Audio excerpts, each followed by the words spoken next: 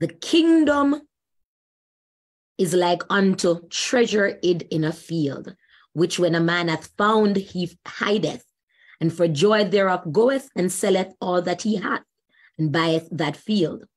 Again, the kingdom of heaven is like unto a merchant man seeking goodly pearls, who, when he hath, had found one pearl of great price, went and sold all that he had and bought it. Again, the kingdom of heaven is like unto a net that was cast into the sea and gathered of every kind, which when it was full, they drew to shore and sat down and gathered the good into vessels, but cast the bad away. So shall it be at the end of the world. The angel shall come forth and sever the wicked from among the just, and shall cast them into the furnace of fire. There shall be wailing and gnashing of teeth.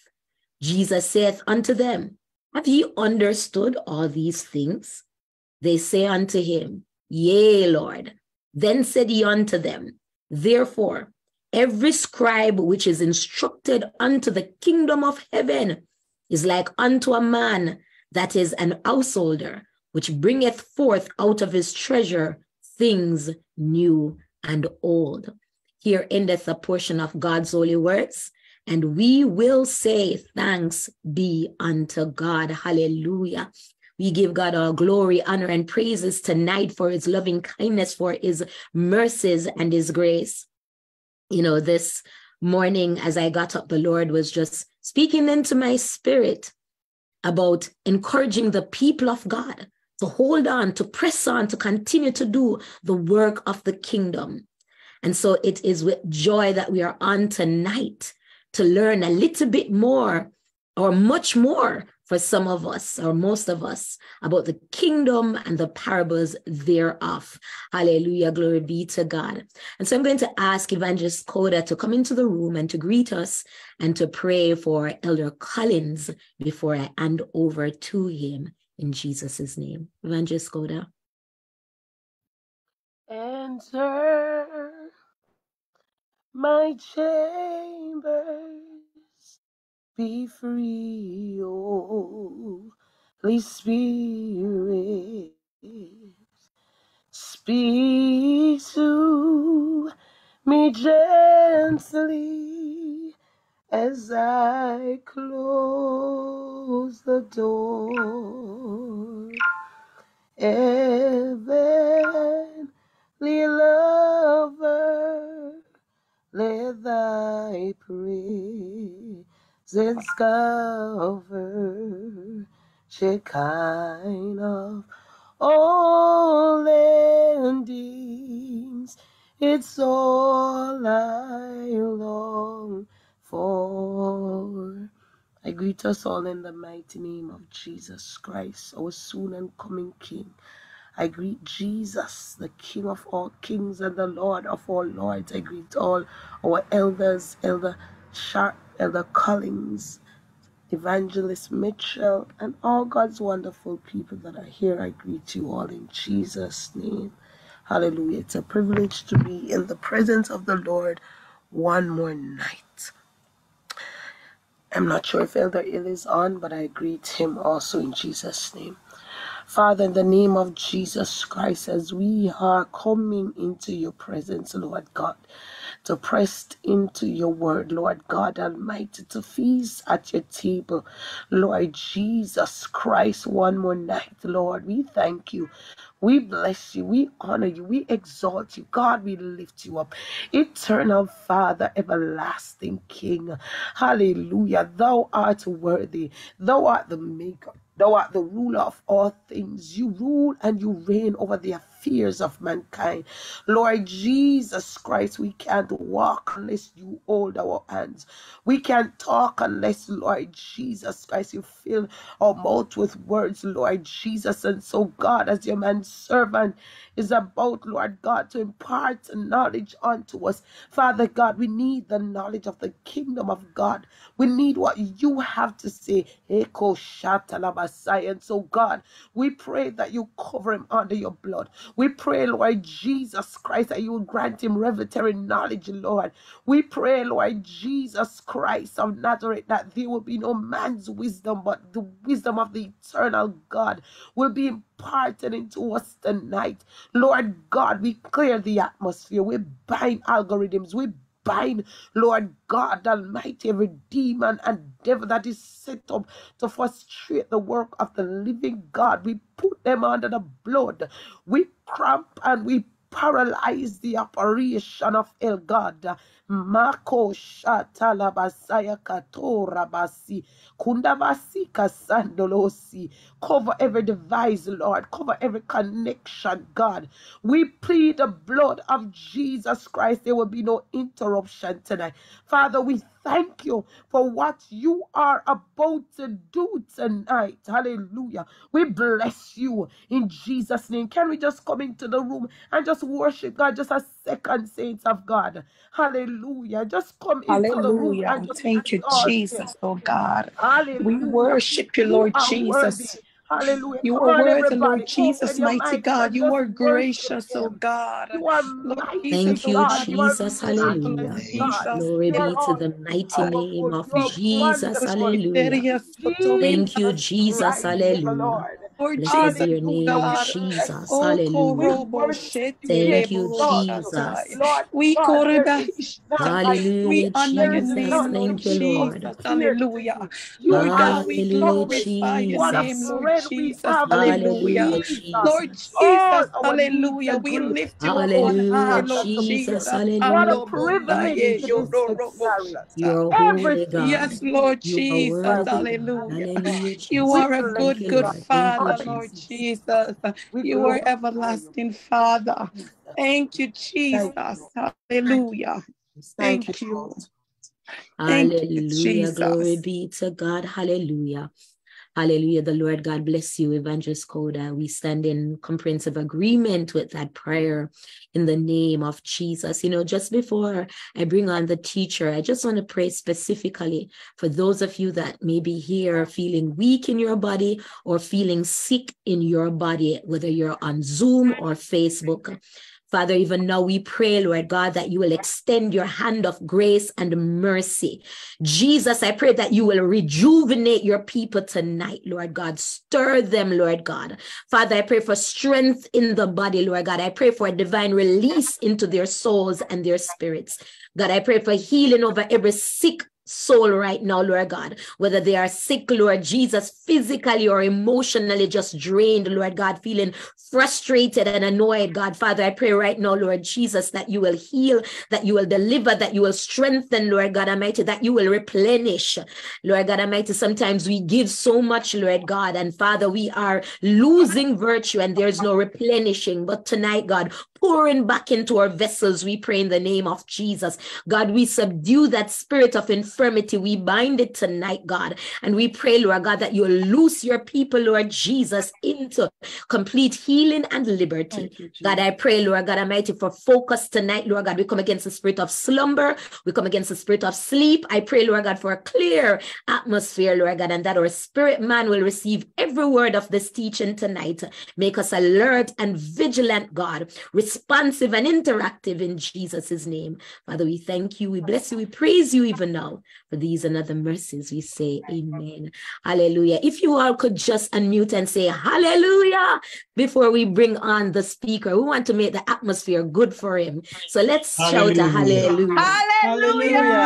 Hallelujah. Thank you, Lord. Hallelujah. Hallelujah. Praise God. Praise Hallelujah. Glory be to God. Hallelujah. And so, without further ado, we want to bring on the teacher for tonight, one that I truly admire and my spirit loves because I know that he is a sincere man of God. You know, one that I have true honor for because I see him not just as a man of God, but as a father in the gospel. And I know that he truly loves God and he takes time to do what he does. You know, the information that he brings, it doesn't just come by typing it into Google. He sits at the foot of Jesus. I don't have to ask, I know. And so tonight we want to bring on Elder Christopher Collins and the Holy Ghost. And we pray, sir, hallelujah, that the Lord will strengthen you as you pour out in Jesus' name. God bless you. God bless you. Thank you so much, Evangelist. There's a song. I'm here trying to find it. Um, I don't know. It just I just feel urged to sing this song.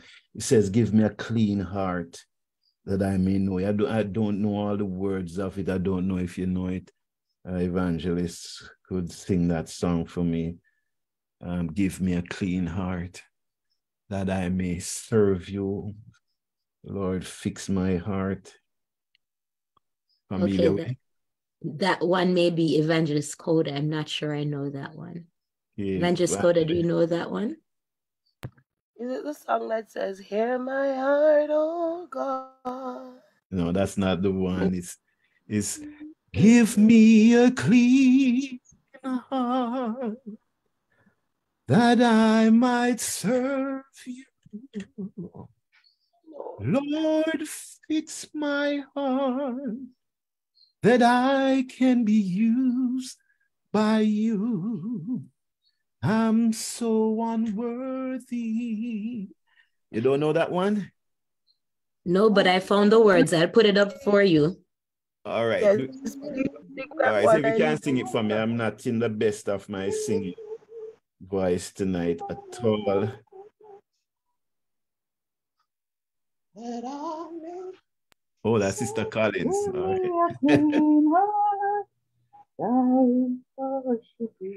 Lord, fix my heart so that I That's it. Yeah. You something so I'm not worthy of all your.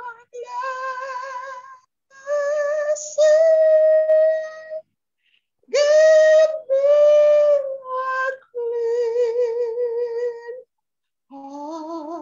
a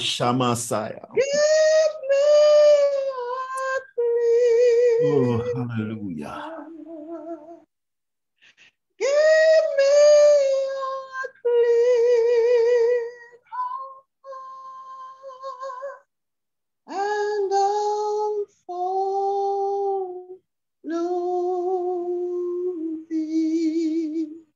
Indulge me. Can we just do it one more time? Do it for me one more time, Mr. Collins, please.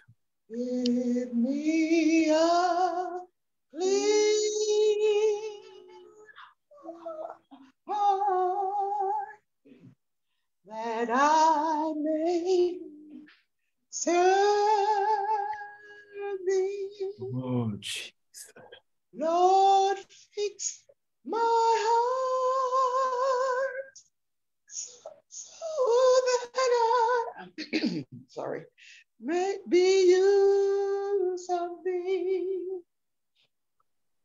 Though I'm not worthy, Not worthy of all your blessings. Give me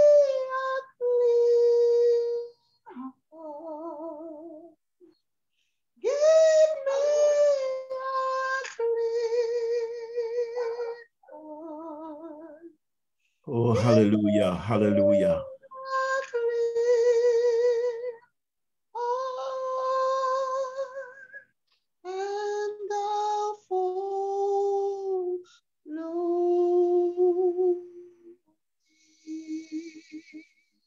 Thank you so much. Thank you so much, Sister Collins. Thank you again, Evangelist Mitchell, for uh, moderating and starting tonight. Let me just greet everyone that is on tonight in the lovely name of Jesus. It's such a privilege to have you all on tonight. You could have chosen to stay home, probably watch a movie, get some sleep, but you chose to join us tonight. And I'm really appreciative of that for those that are joining also via Facebook. Let me greet you in Jesus' name and, and welcome you to this Bible study tonight. It truly has been a very wonderful um, ride throughout these studies. Amen. And I believe that the Lord does has a word for us tonight, even though I feel not as prepared as I would have wanted to, but then it is really God that is in charge. Amen. Amen. Amen. Let me let me hasten to greet um, Elder Sharp, um, Elder if he's on, Pastor Marks, and um, Evangelist Nakoda, uh, Evangelist Karen Mitchell, and all the different uh, persons that are on. Oh, I see Pastor McDonald as well, Evangelist uh, Howitt. Let me greet you all in Jesus' name. I see Elder uh, Rogers on tonight. Amen. And and don't don't feel away if I didn't call your name tonight. You're all special. Title or no title, you are all special. Amen. And so I greet you well in Jesus' name. We have been looking at the parables of the kingdom, and um, we have gone through uh, six of them, six different parables, seven sessions, um, which would have included the introduction. And tonight we'll be looking at the seventh parable of the kingdom. Amen. Um, which would have made it our eighth lesson in this series. Amen. So, as usual, I want to do a little recap. And so I'm going to be asking you a few questions as it relates to the previous lesson. Is that okay? Yes. Amen. I feel a, a, a rich presence of God even right now in this place. I think God is going to do something extraordinary tonight. Amen. And so we're going to be doing a recap on uh, the parables of the kingdom. All right. And so let's do that recap now. Amen. Amen. Last week we had looked on, let me see, we had looked on the the pearl of great price. Amen. And um, can anyone tell me anything that stands out for you as it relates to that parable?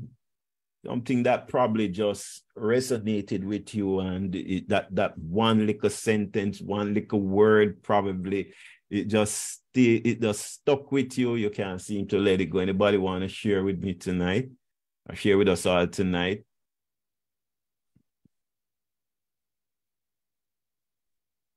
Nobody? Okay. Can you hear me?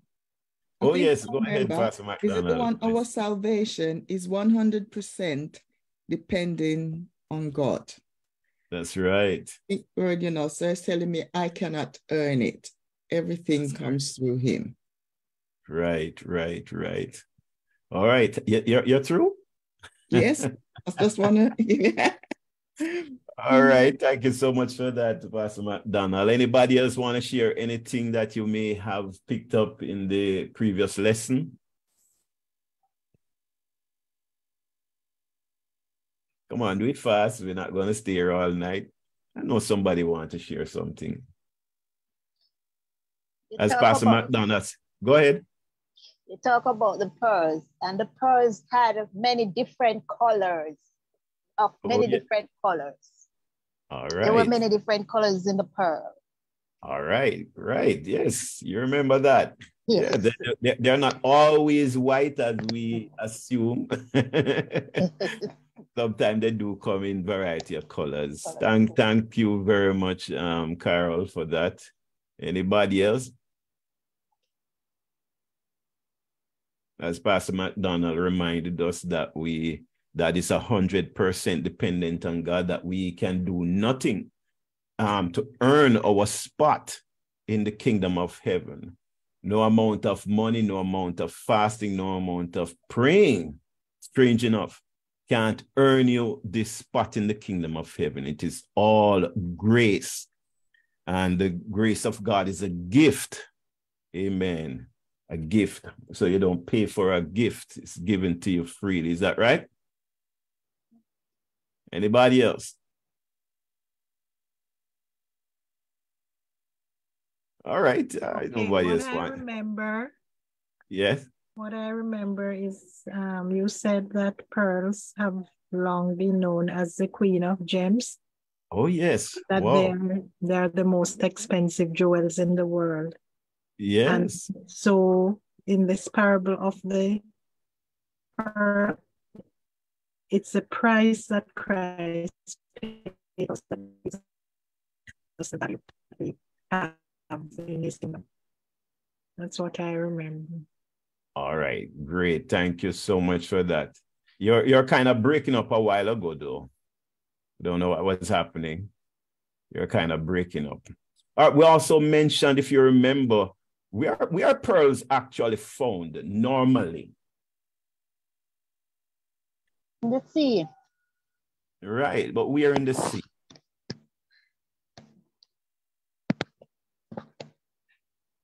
The oyster. Down here. right? It's found in an oyster. I like what, what you just said a while ago. It's found in an oyster, and oyster is where? In the sea? But we are exactly in the sea. Bottom of the sea. Bottom of the At the sea. bottom of the sea.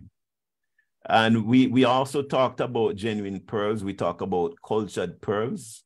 And we mentioned that cultured pearls are those that involve um, human intervention in order to get the oyster to make the pearls and to make them of variety of shapes and colors. So, you know, um, individuals actually have these oyster farms where they know um, they, they, they, they, they somewhat cause the, the, the pearl to be formed in a particular way. So these are what they call cultured pearl, but then you have the genuine pearl that has no human intervention in terms of how it is formed inside the oyster. And these are taken from the bottom of the ocean, wherever they are, and have to be removed from the oyster. What did we say that the, the sea represents? Anybody can remember? People. Ah, people. And so we we have been called from multitudes of people, languages, cultures, and so forth, different ethnicities, amen, into the kingdom of God. And we're going to be looking a little bit on that again tonight, not necessarily in the parable of the pearl, but in this parable that we're going to be looking on tonight. All right. Um, okay, so I think we can move right on to the next um, parable. All right, and this is the parable that we want to look on tonight. It's called the parable of the dragnet. The parable of the net, but I rather to use the term dragnet, and as I'll explain that as we go on. So I'm going to draw your attention again to the a portion of the same scripture that Evangelist Mitchell had um, drawn on tonight, just from verse uh, 47. We're just going to go from verse 47 down to about verse 15. All right. So here we go.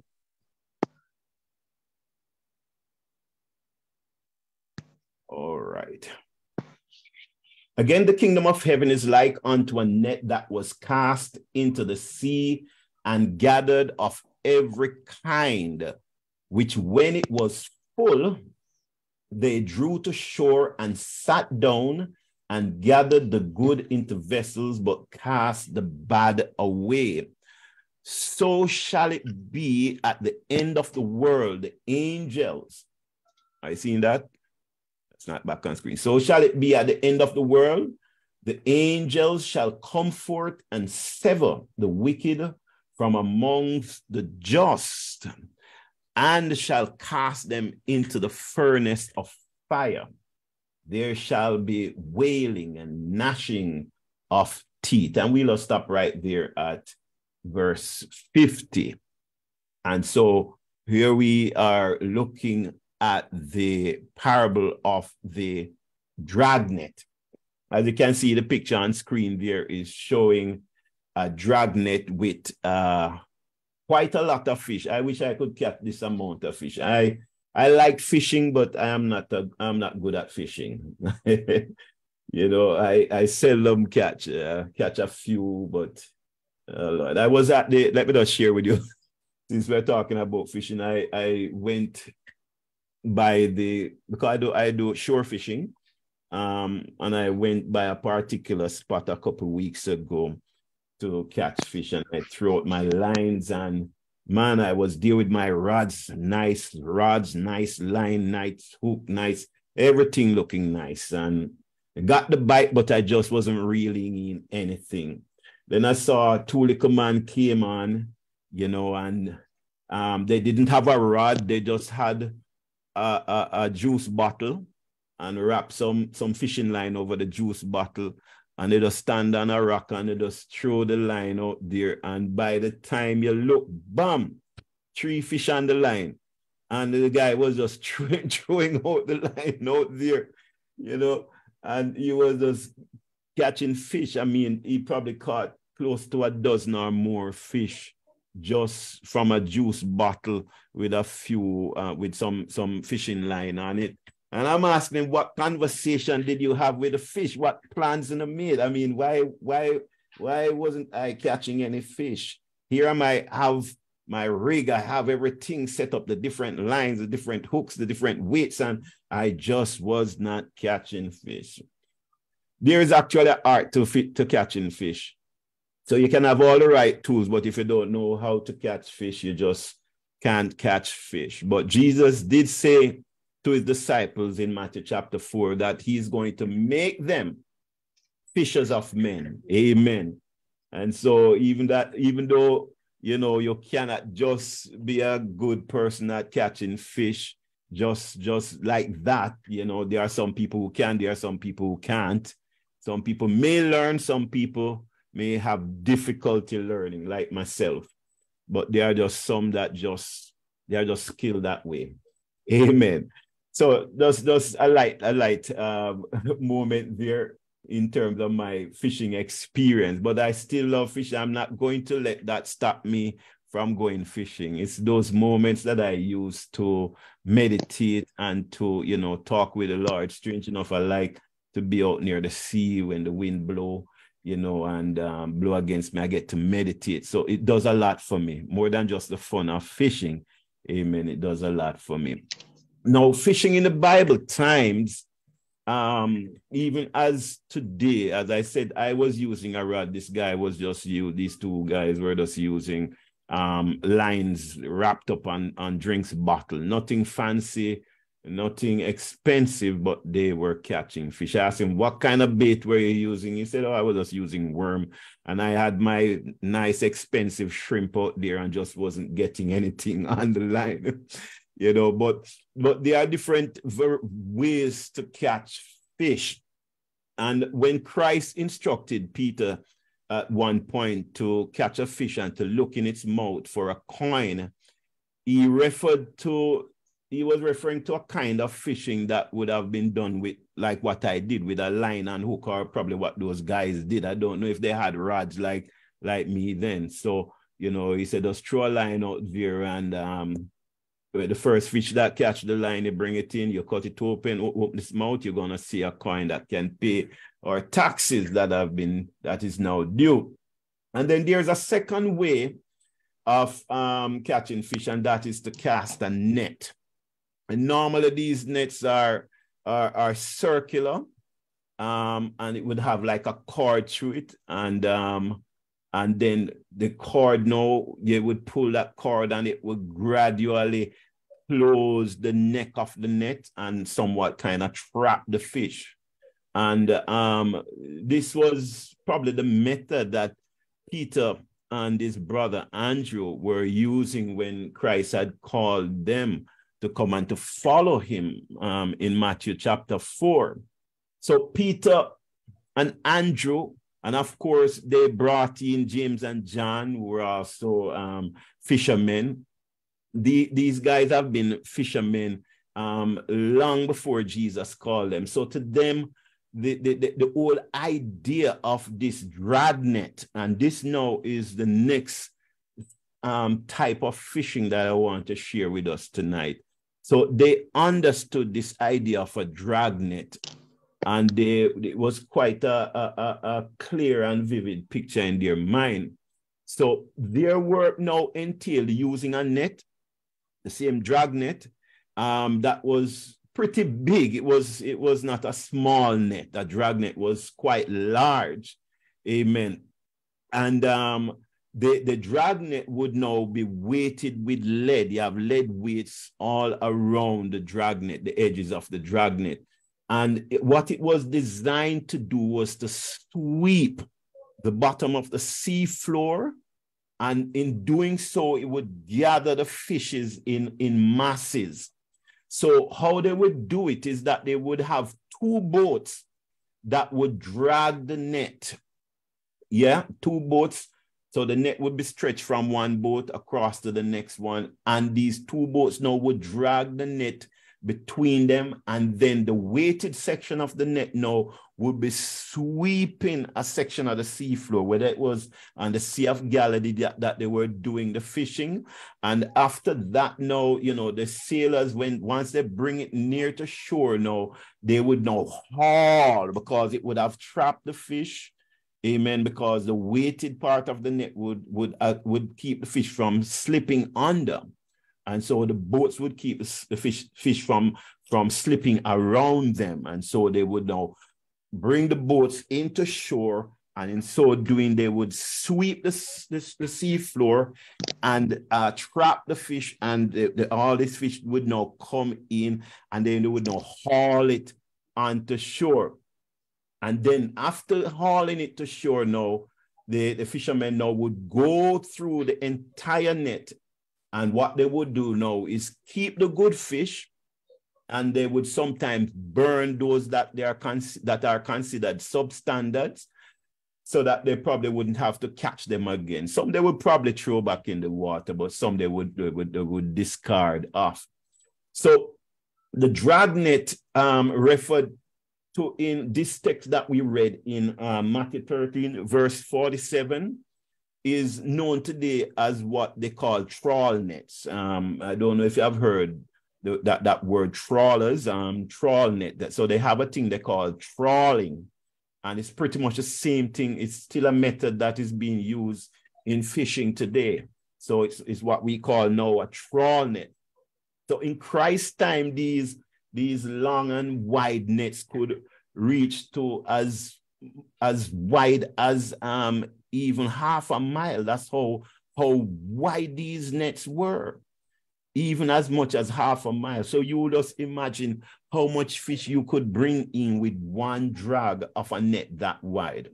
And so they would be attached behind one of the boats, amen, and the top of the net now would have um, floats on it to keep that up the top and so the, the, the weights, the lead weights at the bottom or with the rocks or whatever would keep the, the, the, the, the, the other section of the net down. And, and this is how it would work. So while the bottom would have the weights, as the boats now move through the water, the dragnet would catch everything that is in its way. Amen. And and and and you know it works in such a silent way that poor poor little fish them don't even realize what is happening. All they know is that their space is getting less and less and less, and the water is getting shallower and shallower, and they don't realize on it's, until it's too late that they are trapped and they are actually in a net. So the net passes through the water and it gathers the fish. I hope that that that that does give us a little understanding of um, how the, the whole dragnet works. Now, what I want to, to, to, to, talk about here for a little while is, and I, I really don't think I'm going to be long tonight, but is that diversity reflects the kingdom of God. Amen. And I say that, and um, I'm going to park on this for a little while um, because I realize that even now in church, we we still have a difficulty dealing with people that might have differences in views and and um, on opinions. And if we're not careful, sometimes we can ostracize the, the very people amen, that God has brought in the kingdom. So diversity reflects the kingdom of God. If you notice in the creation of all the different creatures, that the creatures all had different um, makeup, different appearances. Some have feathers, some have fur, some have four legs, some have a hundred legs like centipede. And so you you there, there is variety. And so we see um, variety in God's creation, in the animal kingdom, amen, in the, the, the, the, the sea, in the ocean, we see variety in fish. And which is why I'm talking about diversity, because this net that was pulling in the fish was not selective as to what kind of fish it would get. So the net didn't say, have a sign written on, on it says only snapper, nor did the net have a sign written on it say only sprat you know, or grunt or whatever is your liking where fish is concerned. It just grab everything and pull it in. Amen. So one of the things I want to point out as I say that about the diversity that reflects the kingdom of God is one thing creation. When we look on creation, especially we look on us as God's creation. The Bible tells us in Genesis chapter 1 that we are created in the very image of God. Amen. Not one of us was, was made apart from the creative, thoughtful design of God, our creator. Every single one of us was, God carefully thought it through in how He made us. So if my nose is a little broader than yours, don't think it was a mistake. God carefully thought it through in terms of how he made me. My complexion, whatever my height, it was God's design. And so we all will not look together, look, look the same, but it is God's design. And it's obvious that we not only look different, sometimes we behave different. Sometimes we think differently, but it's a part of God's design. And so he says he's making man in his own image. Amen. I want to turn to the book of Psalm 139 quickly. Um, let me bring it up on screen for you. Psalm 139, verses 13 and uh, 14. Let me just read that together. Here the psalmist says, For thou hast possessed my reins, thou hast covered me in my mother's womb. I will praise thee, for I am what? Fearfully and wonderfully made. Marvelous are thy works, and that my soul knoweth right well. Amen. I think each one of us on tonight we can rejoice because God had made you fearfully and wonderfully. Amen. I know sometimes because of what Hollywood has done, people sometimes become dissatisfied with their body body shape and their their hair color and their you know and their their, their entire image they become dissatisfied but the fact is that God had made you and He had made me. He had made all of us as individuals fearfully and wonderfully. Just think about the, the wonderfully and the fearfully. Think about it. In other words, when you look on these words, fearfully and wonderfully, it means that it was not just something you just shake up and just throw it out and it just happened like that it, it, it indicates that there was effort and time put into making us, into making you as an individual, into making me. It was not just, you know, just a byproduct of some big explosion. We were carefully formed Hallelujah. I think Jeremiah talks about how God had started forming him, even in the curious parts, in the dark, the dark places of his mother's womb. God was already calling him and forming, forming him. He says, My substance, the psalmist says, My substance was not hid from thee when I was made in secret and curiously wrought in the lowest parts of the earth. That's um, verse 15 of the same um, Psalm 139. Amen. And so I'm talking about diversity, diversity in the kingdom of God. Amen. Just as how this net might have in it snapper, it might have in it grunt, it might have in it mackerback, it might have in it Welsh Welshman, and you know, I don't, I don't know all the different fish. Amen. I know a few, but you know, but a wide variety of fish was in this net. But it is God's way of pointing out to us that when He calls people into the kingdom, amen, they are going to come in with various personalities and uh, various characteristics about them. Amen. Notice where the fish is caught in the sea, in the ocean. And again, as we said in the previous parable, that the sea represents people, it represents uh, nations and different languages, tongues, and, and different um, ethnicities, you know. And so, in the same way, the, the fish is being drawn out of the ocean. We also, as a people of God, have been drawn out of the multitudes Amen. Amen. So we are God, God um, expresses this diversity in his kingdom through the creation. Amen. So God doesn't discriminate in his design. He doesn't create one human being greater than the other. In case you didn't know that, he didn't create a human being greater than the other. Nobody is greater than the next person. Amen. Do I hear an amen there? Amen.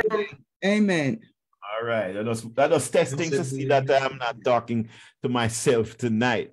Right. Amen. So he doesn't discriminate in his design. None at all. Amen. None of us is better than the other. And that is why even Jesus trying to teach how the kingdom of God works, he says, look, the kingdom of God is not supposed to operate like the kingdom of the world. Because in the kingdom of the world, they set up kings, they set up um, people over people. And so you have this social divide, but not so in the kingdom of God.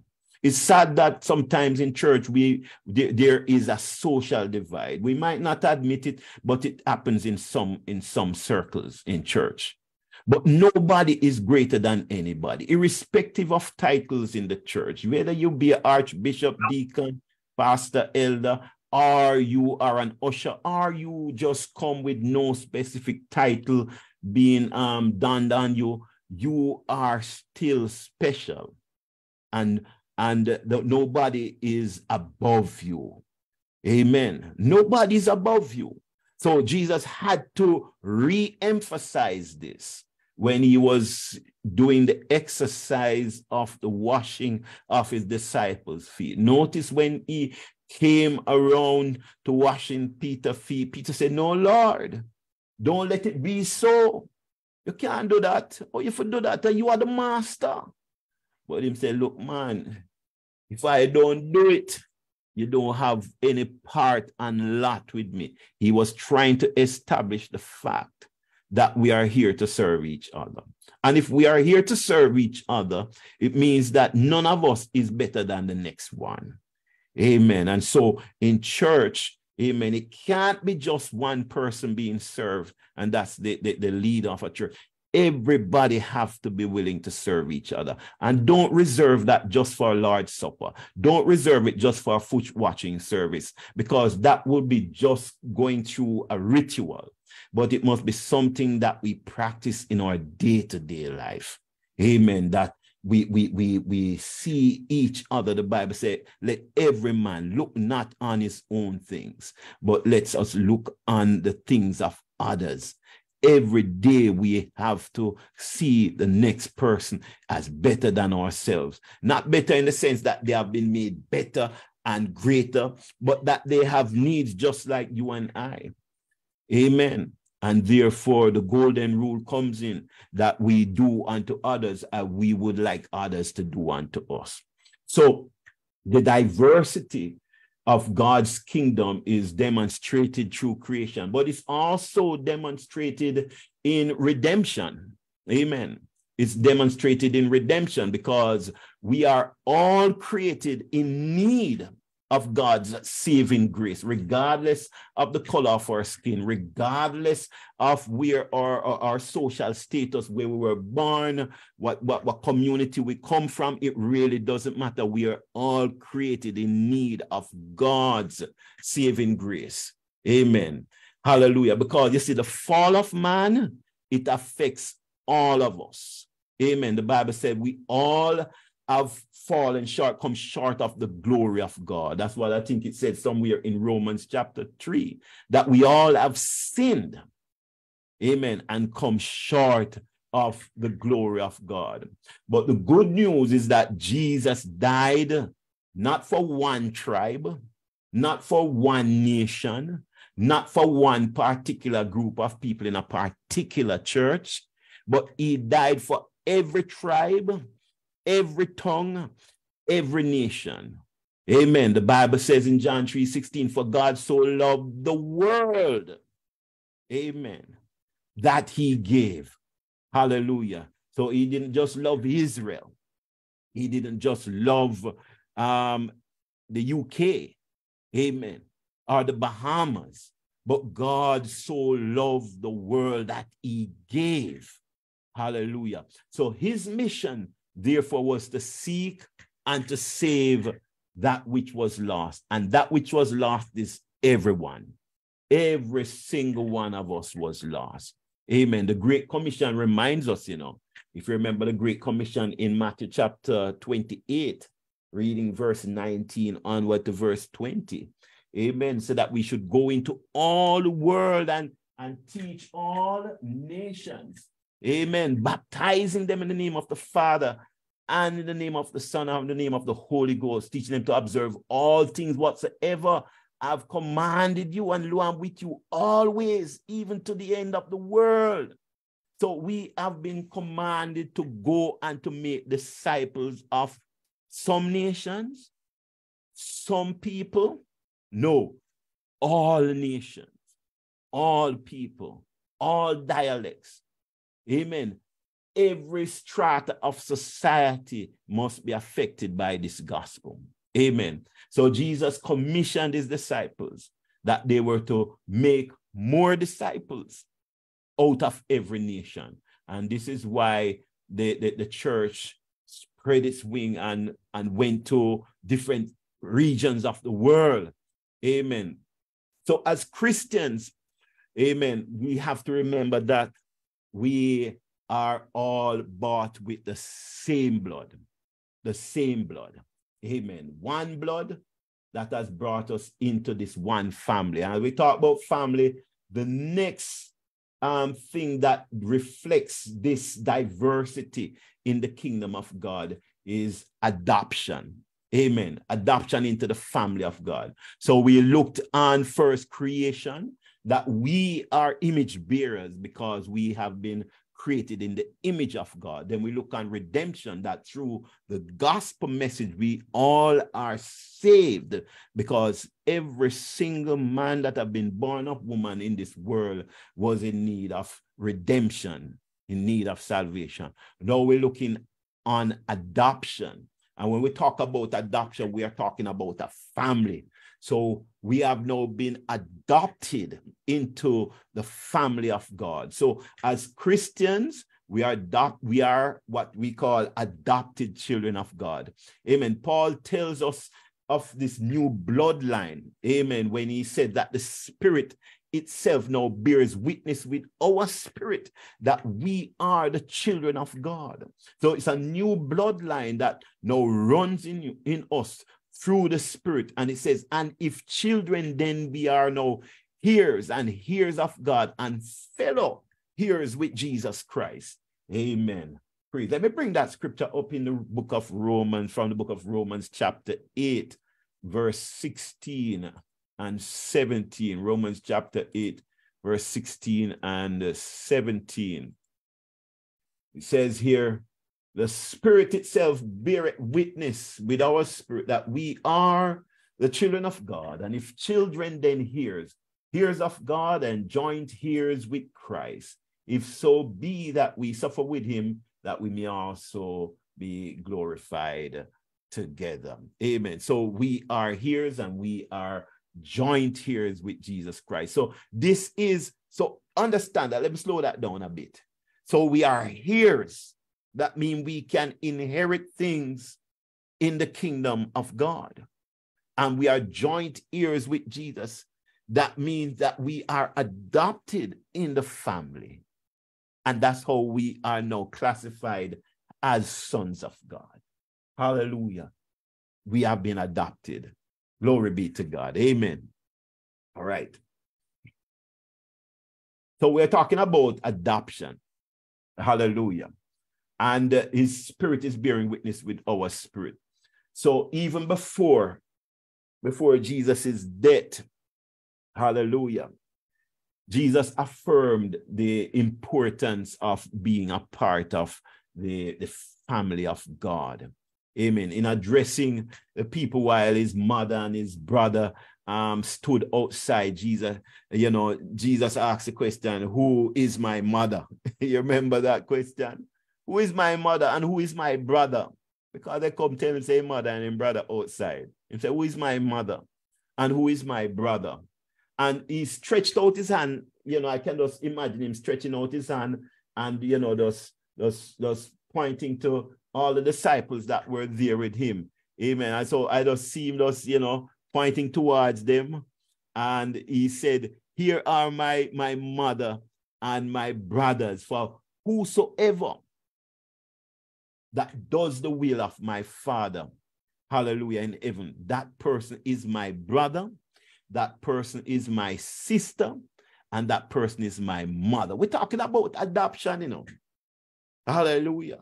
So when we are adopted into the kingdom of God and we start do doing the will of God, we have this assurance that we are indeed sons of God. Amen. Because the adopted child, you know, is not given second privileges, you know according to the law of adoption, you know, you have all the privilege of, of the, the legitimate child, you know. Amen. So we that are adopted, don't don't think say is is, a bastard relationship you have with God. No, it's not a bastard relationship. Amen. We are sons of God. Amen. So Jesus isn't suggesting when he talked about you know, his, his mother and his brother. He wasn't in any way suggesting that our biological families are no longer important. By no means is he suggesting that, but rather he's stating that following him is something that is far greater. Amen. So he takes priority, and so and and so should the kingdom of God take priority in our life. Amen. So much so that those that followed him amen, are counted as his mother, his brother, his sister, his family. Hallelujah. The family of God. Hallelujah. So when you think about it, then, you and I, and I don't know how many persons are on right now. Um, I'm seeing what 42 persons that are on on on this Zoom platform. I don't know many are on on um, Facebook, but we are from different um, different backgrounds, but we are all brothers and sisters adopted into the family of God. And so I can only conclude that the family of God, the kingdom of God, is very colorful. Hallelujah. It's very colorful. Hallelujah. Glory be to God. Different personalities, different um, characteristics, but we are all still the family of God. And we're going to talk a little bit more about that. Amen. Because one of the problem we have is we confuse unity and uniformity. Amen. This is a problem I see happening amongst many of us as believers. We we we feel that you know if persons doesn't um doesn't look exactly like us and talk the same way and walk. As a matter of fact, some people go as far as to use even the tongues. And so if someone tongue doesn't sound like your tongue that you're accustomed to in your particular congregation or your corner of the world, you might assume that this is this person of a different spirit. And I've and I've come across that. I I heard a story many decades of, ago of a brother that was in a particular church and um, he spoke with tongues that just did not sound like everybody else. Because somehow we we we we we, think everybody's gonna speak in tongues like we, like you know, you and I were going on. And some would even go as far as to say some people has not matured because five years ago is the same tongue you have now. Where do we get these doctrines from? You know, um, well, oh, you still have the same tongue, yet not even your tongue grow, matured. But another time we probably touch on that because I know it can be a very sensitive era for some people. But I just have to be blunt and straight. Amen. As we touch this tonight. But unity and uniformity is not necessarily the same thing. Uniformity is when you want everybody to look the same, sound the same, walk the same, talk the same, think the same. But again, we're talking about diversity that reflects the kingdom of God. And so we are not going to all sound the same.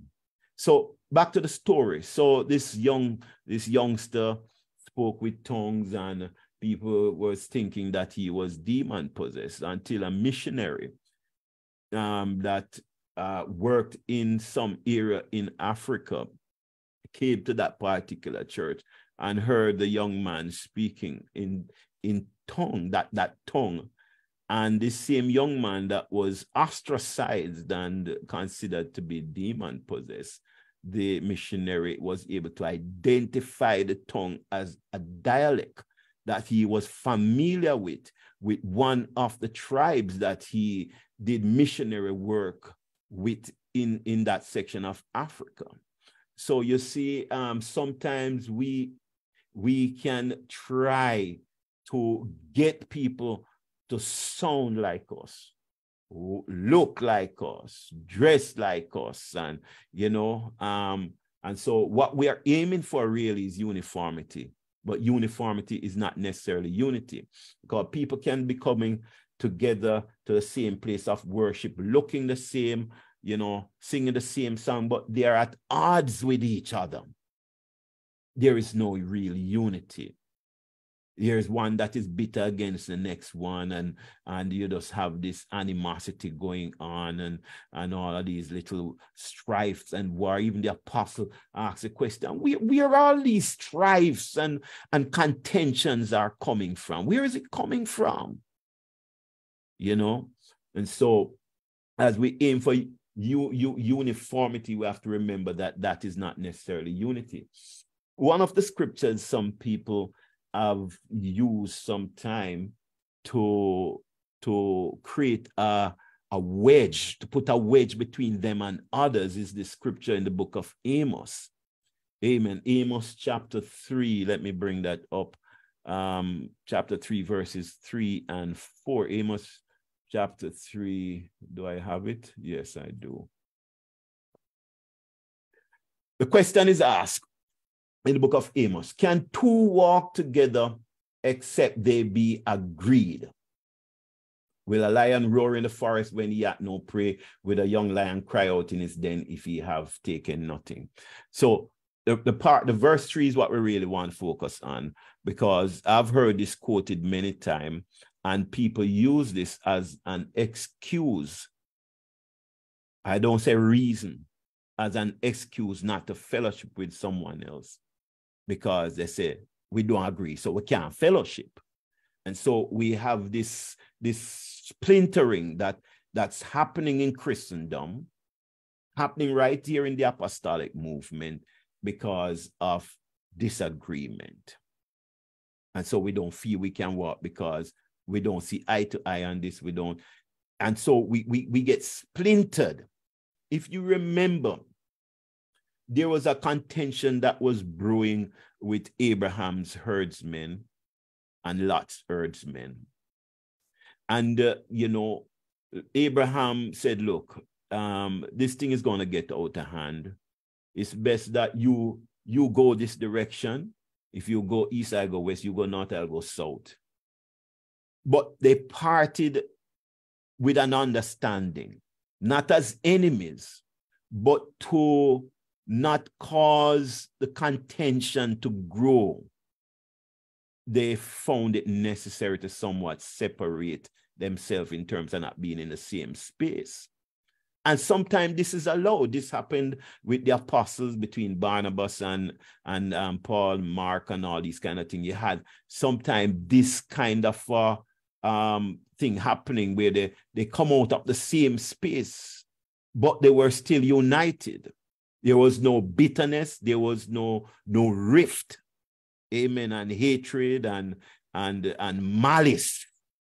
But just that sometimes um, folks can't communicate so well together. And so they had to change space. And it is evident that there was nothing, um, no, no animosity between Abraham and Lot. Because when Lot was captured by five heathen kings, Abraham was the one that went to Lot's rescue, defeated those kings, rescued his nephew, and that's where we get the story now with Melchizedek and all that kind of thing. So he ran to the rescue of his nephew to show that the love was still there. There was no animosity between them. Sometimes, yes, you have to come out of the same space, but we have to watch our spirit. So when it says, can two walk together except they be agreed? It's not, it's not talking that we can't have disagreement. It's not talking about that.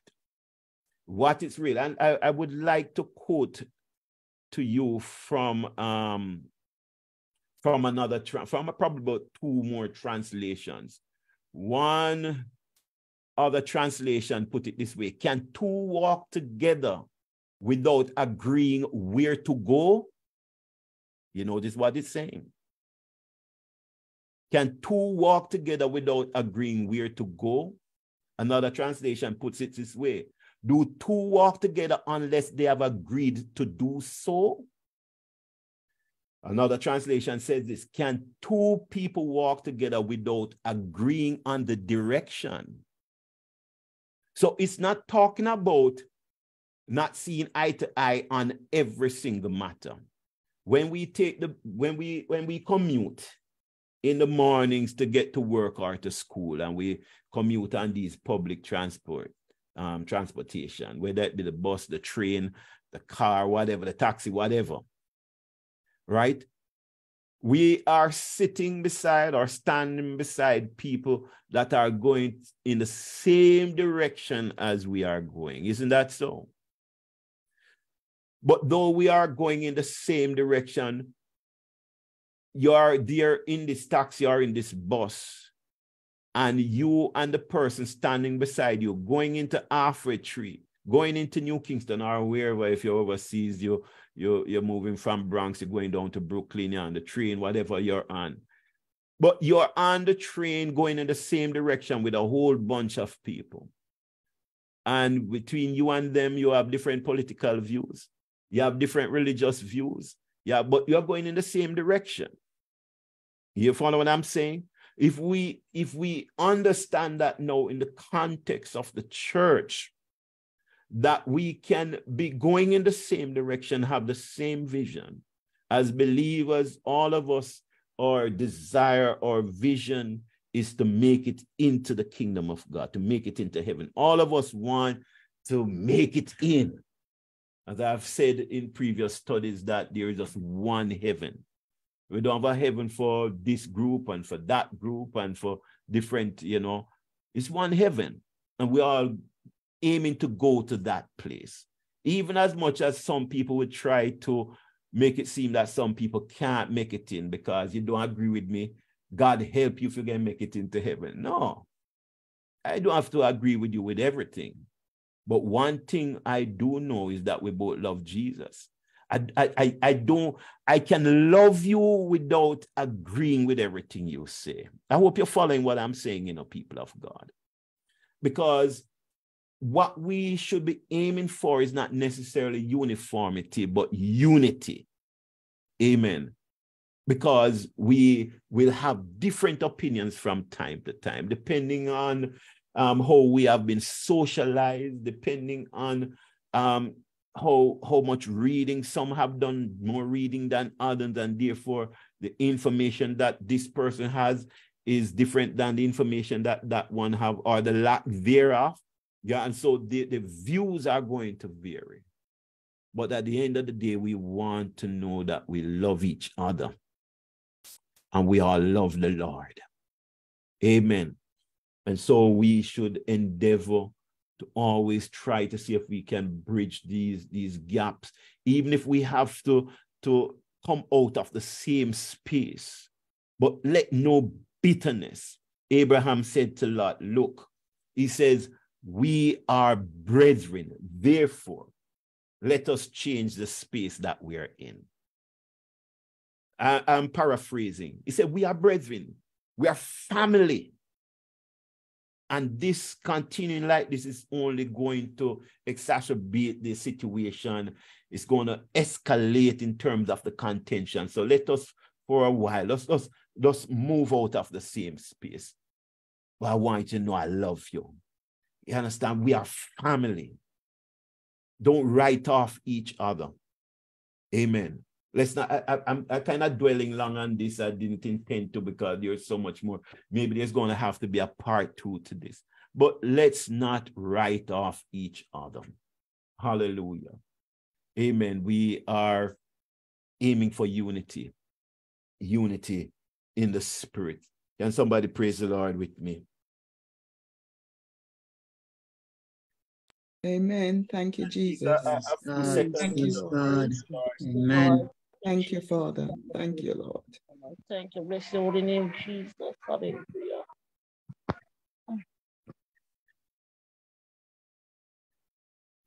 There is too much hurt, too much silent sufferers, even in church, because of hurt. Hurt. We have not perfected the art of making things right with each other we have not perfected the art of communication. And before we can talk about reaching the world and winning the world and and and and and, and growing our churches, we have to find out what is it that I'm lacking in terms of building the bridges that have been broken down between each other, between us. Amen. The song says, You're my brother, you're my sister. You know, we can't be just walking past each other and, um, you know, treating each other like we no longer exist because of misunderstanding, because of disagreements. We, we, we're, we're going to have disagreements, but don't let each other feel less important. Let's not make the next person feel unimportant and unnecessary. As i said in the in one of the lessons that we have to move beyond seeing each other as just assets in our churches as resource persons because as we age our resourcefulness will diminish and when we can no longer give as we used to and do as we used to, we don't have the strength to do some of the things that we used to do. Will we still be remembered? when we are aged, when we can no longer give as much of our talents, our strength. But when we see each other as valuable as individuals, God's creation as image bearers of God Himself, that is the first thing that should come to our mind that my brother is a bearer of God's image, not an asset to my church, not an asset to my congregation. He's a bearer of God's image. Therefore, I have to treat him right. No wonder Jesus said, if we take the little ones, the least of these of my disciples, and treat them and, and offend them, it would have been better that we put a millstone around our neck and cast ourselves off in the river or wherever. Because we have to see that each person, each individual is an image bearer of the Almighty God. We not we don't just love each other and love one another for what we can, what they can do or what they can give. We have to love them because they, like me, are image bearers. You're an image bearer, irrespective of what your title is. And if you have none, you are an image bearer of God. And I have to love you as much as I love anybody else. Hallelujah. Hallelujah. Glory to God in the highest. Let's just pause for a while. I just want to just pause for a while and let us let that sink for a little while. Hallelujah. Hallelujah. Hallelujah.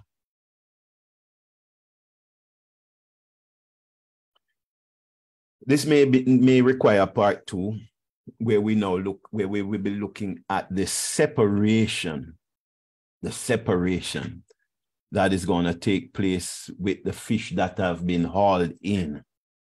And what is separated is not the sprat from the parrot, nor the parrot from the snapper, nor the grunt. That's not what cause the separation of the fish. All of them are just as necessary, irrespective of what type of fish they were. What was separated is that which was not edible, that which might not be. I remember as a youngster in high school, I liked fishing from that time, and I went over to Port Royal and caught some fish. I went in a boat and started catching some fish there. And I I poor me, I didn't know much about fish, and I caught a particular fish, and a fisherman said to me, You need to throw that back in. You can't eat that. That fish is poisonous. You know, I didn't know. And so when they hauled in this wide variety of fish, Amongst it was fish that was not considered edible. Some were probably diseased, some were probably poisonous, probably there were some that were undersized. But what was separated was not the variety or the species, or just, you know, it was snap, it wasn't snappers taken out and thrown back because all we want is parrot. There's a market for parrot and there's a market for snapper. But what was taken out is that which was useless. Useless. Hallelujah. But that which is edible, irrespective of the type of fish, and each fish requires different preparation in order for it to be edible or to be, you know, palatable, not edible, but palatable. Requires different separation. Some, some you can't fry, some you have to steam, some you have to roast. And every fish can fry and every fish can roast. You understand me? But they're all edible, but for it to be palatable, because of the variety, the preparation differs from fish to fish.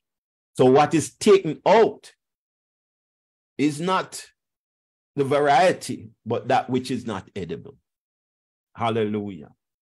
So again, the stress should not be on uniformity They didn't throw them throwing back the ones that they didn't want because not because it couldn't be eaten, but this was the one that this it, we, all we want is parrot today.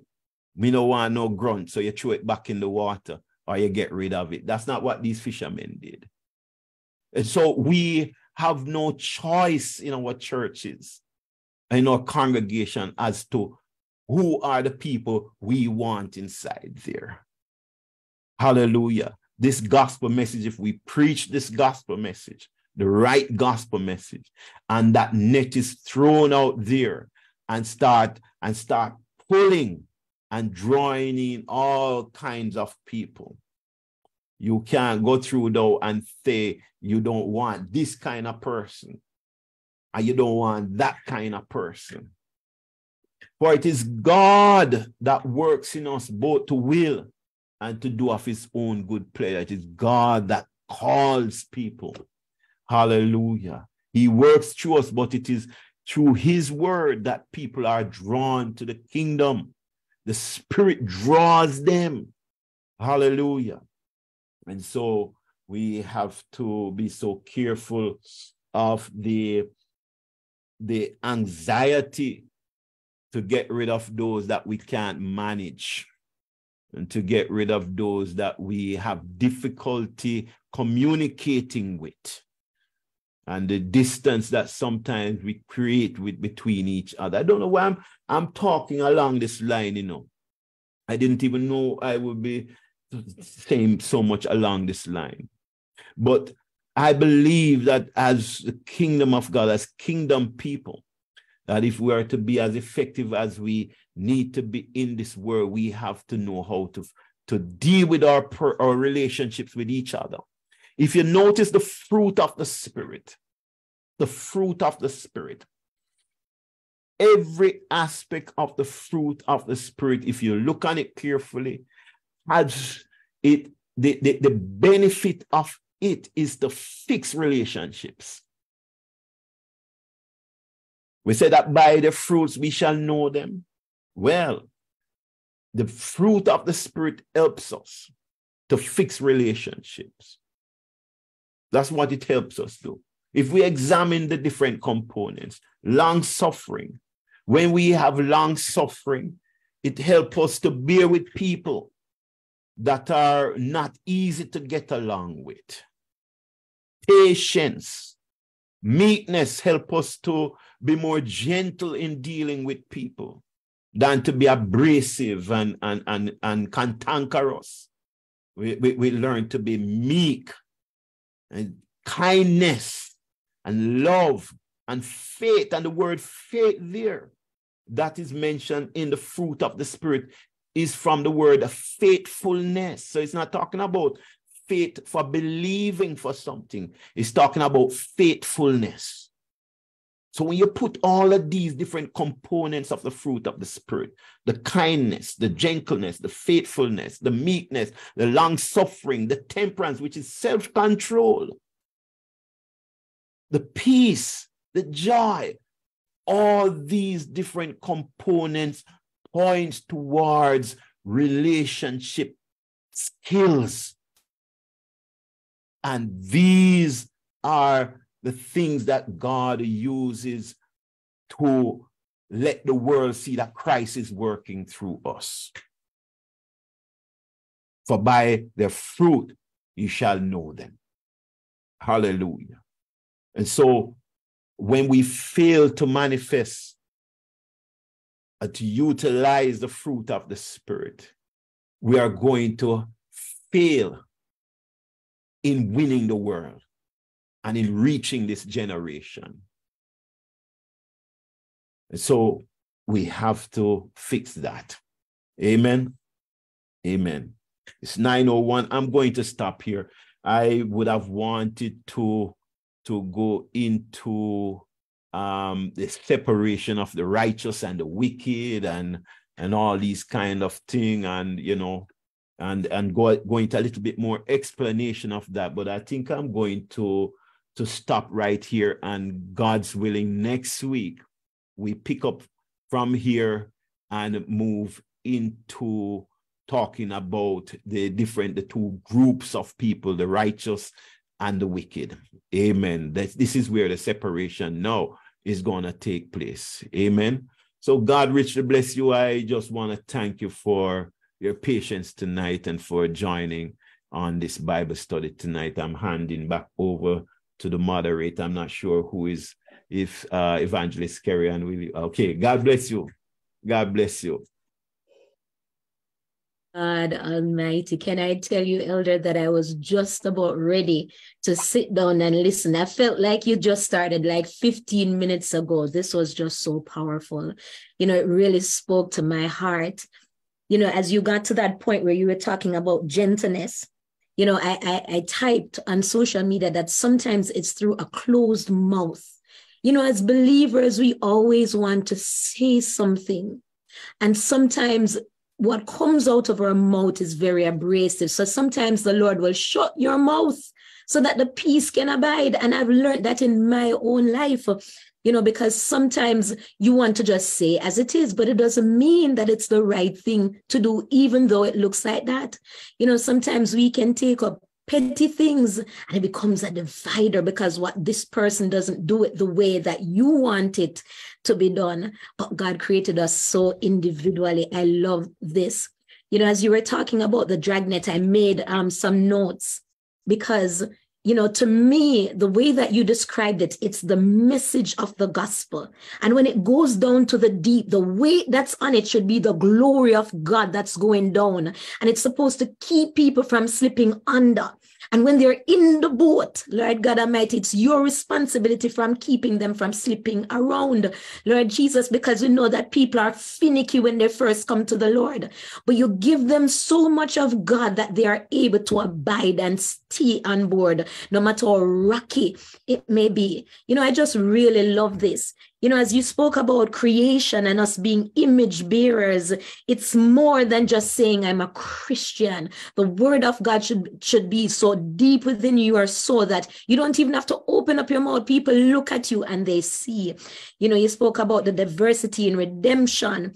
and how it is that the Lord came to save all, not some. You know, the other day I was speaking to the children's group and I was saying to them that we have a tendency as people to want to give the gospel to who we think God should save. But God came for, for all. He came for the murderer, the rapist, the liar, the thief. He came for all of us. There's no um, you know, distinction or discrimination where the soul is concerned. God wants all. Whether you're paralyzed or you're able to use all of your motor skills, whether you're educated or not, whether you're poor or you're rich, you know, and then you talked about the adoption, and that is my favorite thing, Lord God, because I am a part of that and the, the, the legality that God used to bring us in. We have the same rights like Israel have. We have the same um, inheritance. As a matter of fact, even more, the word of God says that we are seated together with Christ in heavenly places. This was just such a rich presentation. The Lord God bless you indeed. And I'm going to ask everyone to just unmute and say, The Lord bless you, Elder Collins. Lord bless Lord, you, you, Elder Elder Colleen.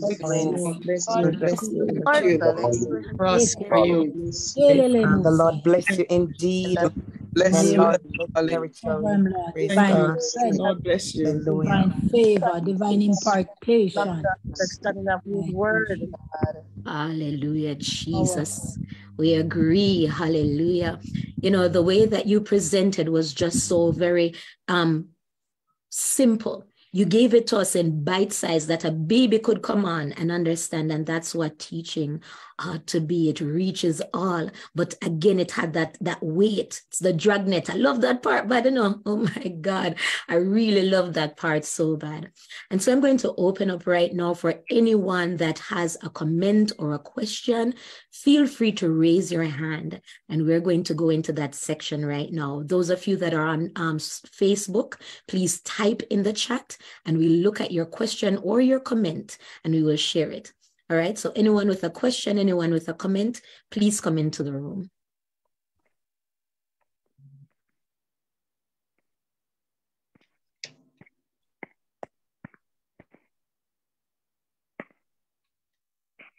No one with a comment, no one with a question.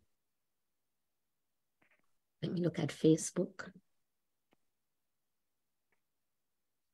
Sister Unique said she could feel the presence of God during this teaching. Elder Collins, my God, so true, was very rich and powerful. All right, go ahead, Evangelist Coda. Blessings, Elder, again. So while you were teaching, all I was hearing was they that go down to the scene ships that do business in great waters, these see the works of the Lord and his wonders in the deep. that was all I was hearing in my spirit while you were teaching, when you were speaking about the dragnet. And God had given me a revelation about the scripture. Um, Sister Mitchell made a very powerful point when she says that it's important that that dragnet be sturdy and able to sustain us, you know, even if we slip and we fall. But then the scripture tells us too that it really requires us going into the deep to see the great wonders of Jesus Christ. It really requires us getting off that um, seashore.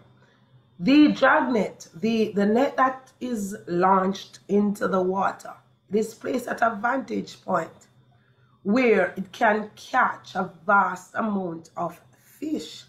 Cannot be placed on the surface because enough will not go into it. It has to be placed at, my, my father was a fisherman. And so I used to watch him draw the, the nets when you were speaking about the ones that it was tonight I was talking to my son about it too because he doesn't know. My father was a fisherman and I we used to watch him he used to do deep sea diving. So he used to go extremely deep to, to, to plant that net. And sometimes it takes him the entire evening to come back. You wonder, is he still alive? Yes or no? It requires him putting it at a certain vantage point and it could not be surfaced. It had to be deep and then when he pulls that net, the amount of fish that is coming home with. I'm saying this to say the deep is required, the dragnet is required, the sturdiness is required. The echo shata basaya. Hallelujah. Katoshama. Alabasaya. And the katoshama. The, the, the, the, the, the position is required. When he's pulling up that dragnet, he will tell you that he has to be careful. If he's not careful, the net can break. The water can cause that net to be ripped apart. There's so many things that can cause a damage when he's pulling that net. And so he has to get help to pull the net. My God. Hallelujah.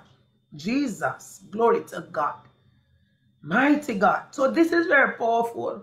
Very, very powerful, and I appreciate it. I'll just leave it there. God bless you. God bless you, Evangelist Cody. You know, as you mentioned about getting help to pull the, the, the, the catch up, I had made a note because some years ago I went fishing for the first time in Cape Cod. And I don't like to feel anything wriggling like that in my hand. So one of the things that they advise you to do is to get gloves because the spike of the fish on the side, those, those fins that sticks out, um, scale that sticks out, when they're twisting their bodies, it tends to become like a, a weapon. It's a defense mechanism against you pulling it off the line. Now, when we went, location, as you said, was very vital. And I listened to Elder Collins talking about the men who came. You know, there were people on the boat. They didn't come with line like us, you know. They had some three things on it. Some of them had four. And it's when they cast that, they were at different positions from us. When they cast it, in no time, they caught over a 100 fish and they were cut off because there was a limit. Now, one of the things that we learned is that when you pulled up that catch, you would look at the size of the fish and the type of fish because you were only supposed to catch a specific type. There are other types, like Elder says, it's poisonous, it's not edible. And some size is not legal for you to be eating. Lord Jesus, it tells us that within the kingdom, you need help, you need the right equipment. And when you go down in the deep and you come up, there are some that's not ready yet. Cognitively, they're not ready yet to receive the word. My God, so you have to throw them back a little, Lord God, and come back another time for them when they have developed and grown some. And then there, there are some that's just not useful. But the Lord is the one that decides it. My God, very powerful. Evangelist Coda, like you said, it takes patience because um, fishing can be an all-night um, experience too, depending on position you know sometimes you're on this side and you have to change and go over on that side because they're not taking the bite. So you have to go over on the other side. Lord jesus my god. Go ahead pastor mcdonald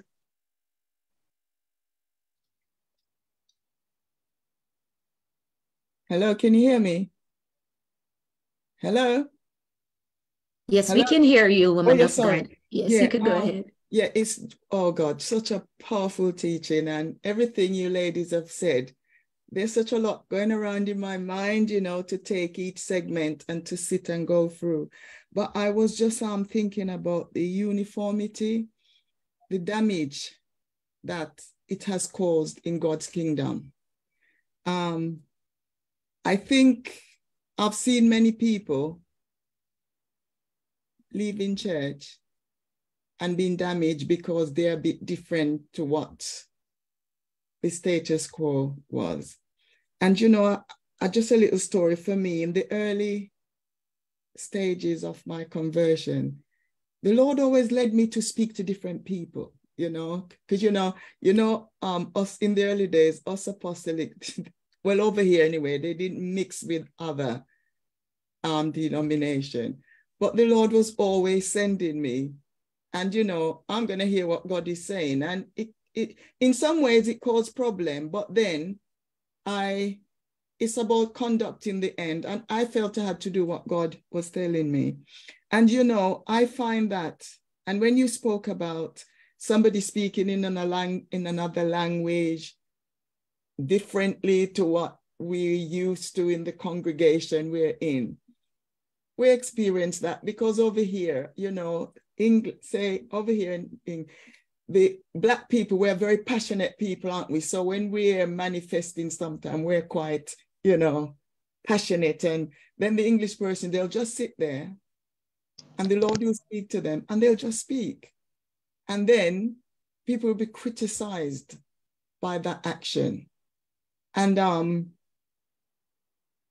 this one has really got hold of me. It's not so much now, but unity is a far cry from uniformity. And because God wants unity by his standard, not by a little thing that we've made in our own building or in our denomination. And um, it was having to push through the prejudice, say, to go out to others because God was sending me. And I used to talk to people on the train. Doesn't matter what color, what every I used to just speak to people on the train.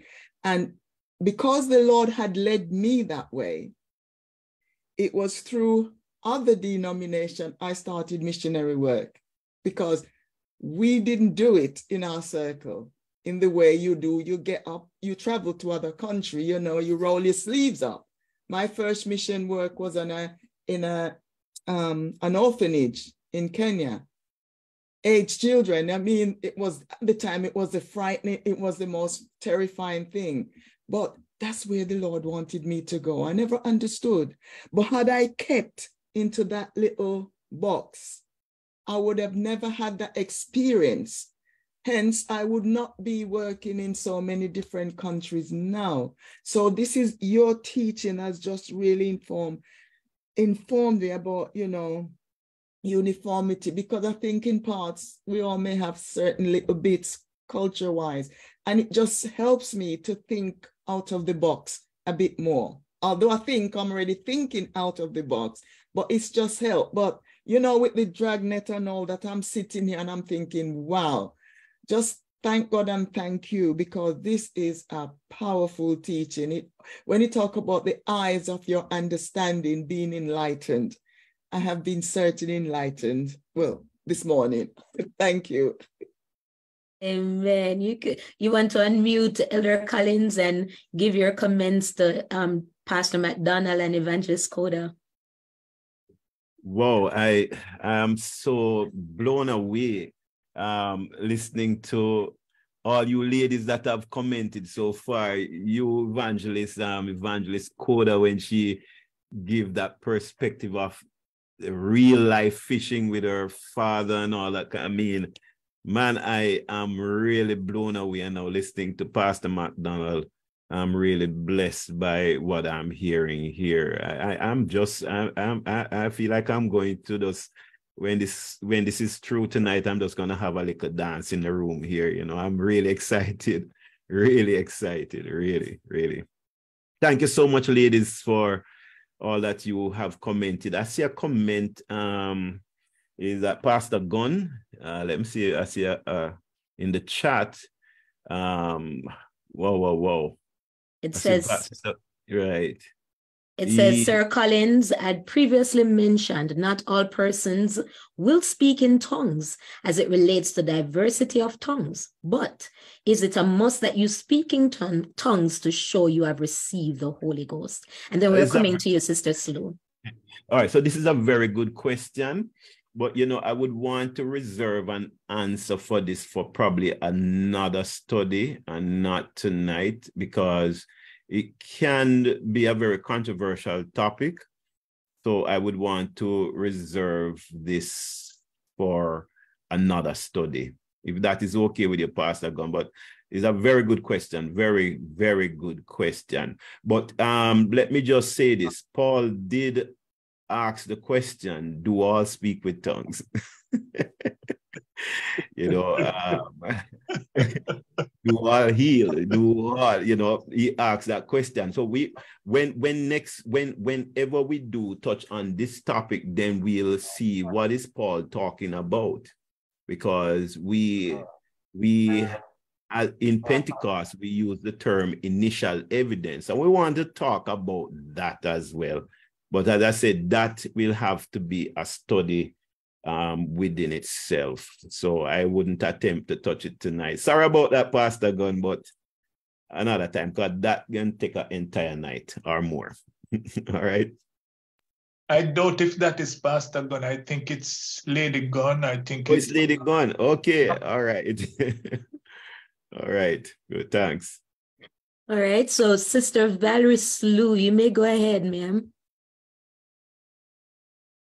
Greeting. Greetings, everyone. I am, as usual, delighted to share in this Bible class. And I wanted Elder Collins to know I'll join the party. I'm ready to dance too. because I really and truly am blessed. I think this presentation is divine intervention, is something we need, need, really need, especially at this particular time.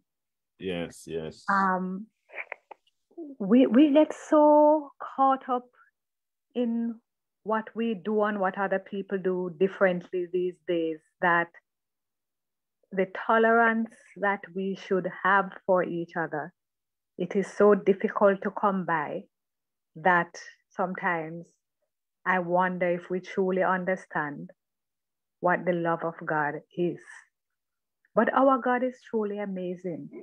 He is thorough, He is detailed, and He showed that in every aspect of His creation.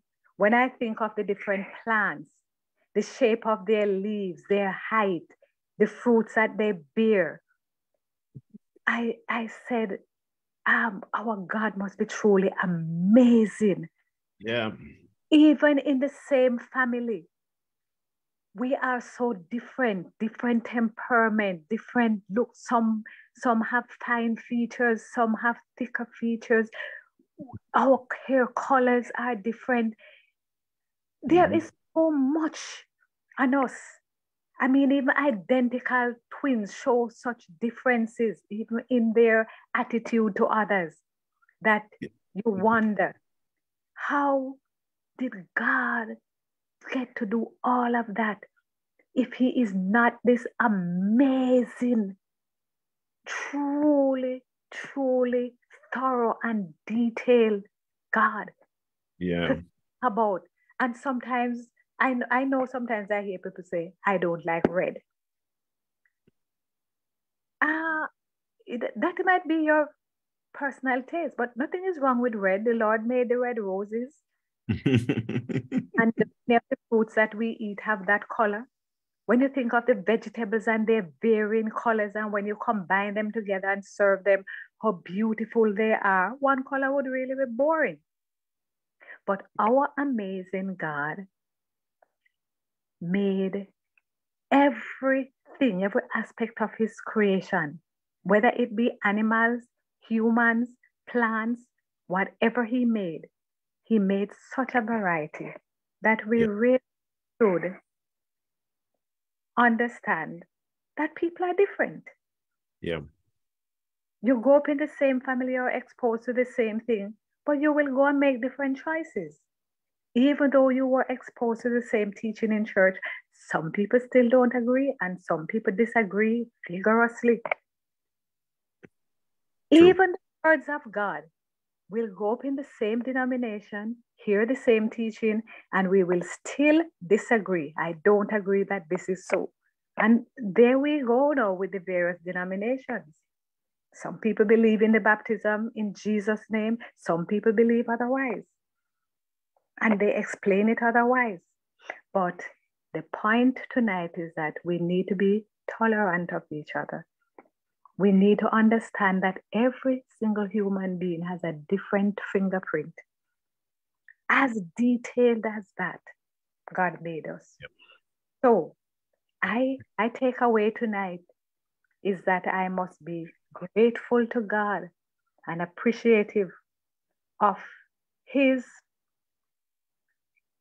divine reason and purpose for making us different, for varying every aspect of his creation and give him thanks for it rather than finding it as a way to divide and put down and criticize and tear down and make ourselves better than others.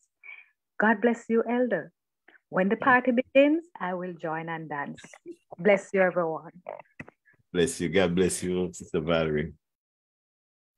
Amen. You know, as Sister Valerie was talking about unity, I'd, I um, also made a note of that.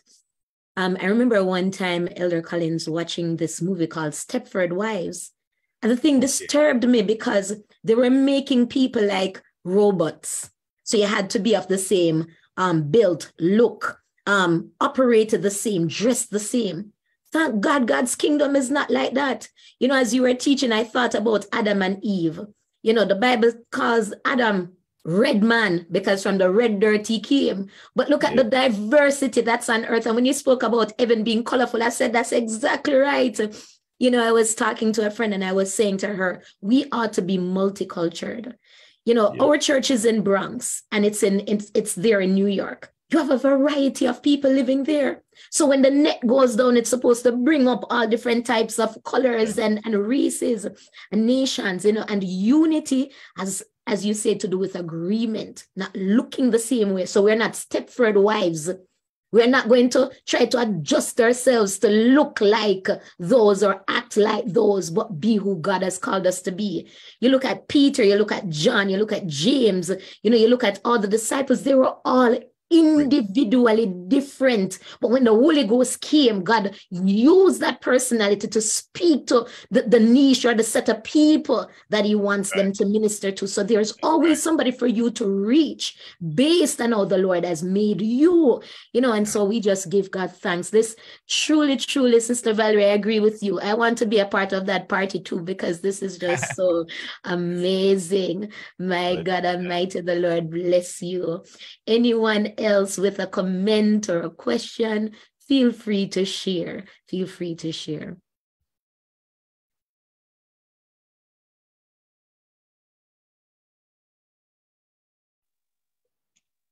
All right, praise so there's God. none on. Okay, go ahead. Go ahead. Uh, praise God. Um, as I listen to everyone today, there is a common ground. And the common ground is who is God? What is He to you? And the Bible states clearly how a person is to be saved. And otherwise, from that, it is wrong. So we have a common ground and we have the word of God, and that is where we want to make sure that we stay focused on that. Because it is the word of God is that is going to make us ready and prepared to do his work and also to be ready to meet him.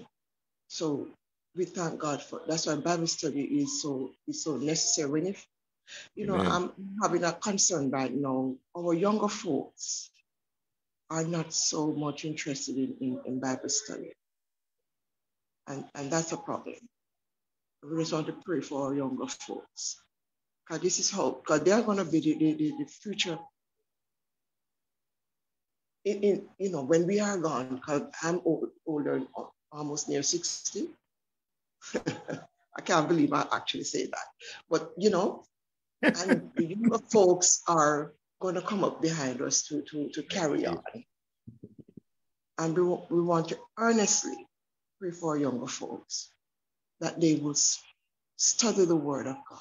But it is what is going to lead them, guide them, and mold them into the, what we should be as uh, and to be like, like, like Jesus. So that is our common ground. And we just want to keep praying and just look to him, for he will keep us as long as we look to him in Jesus' name. God bless.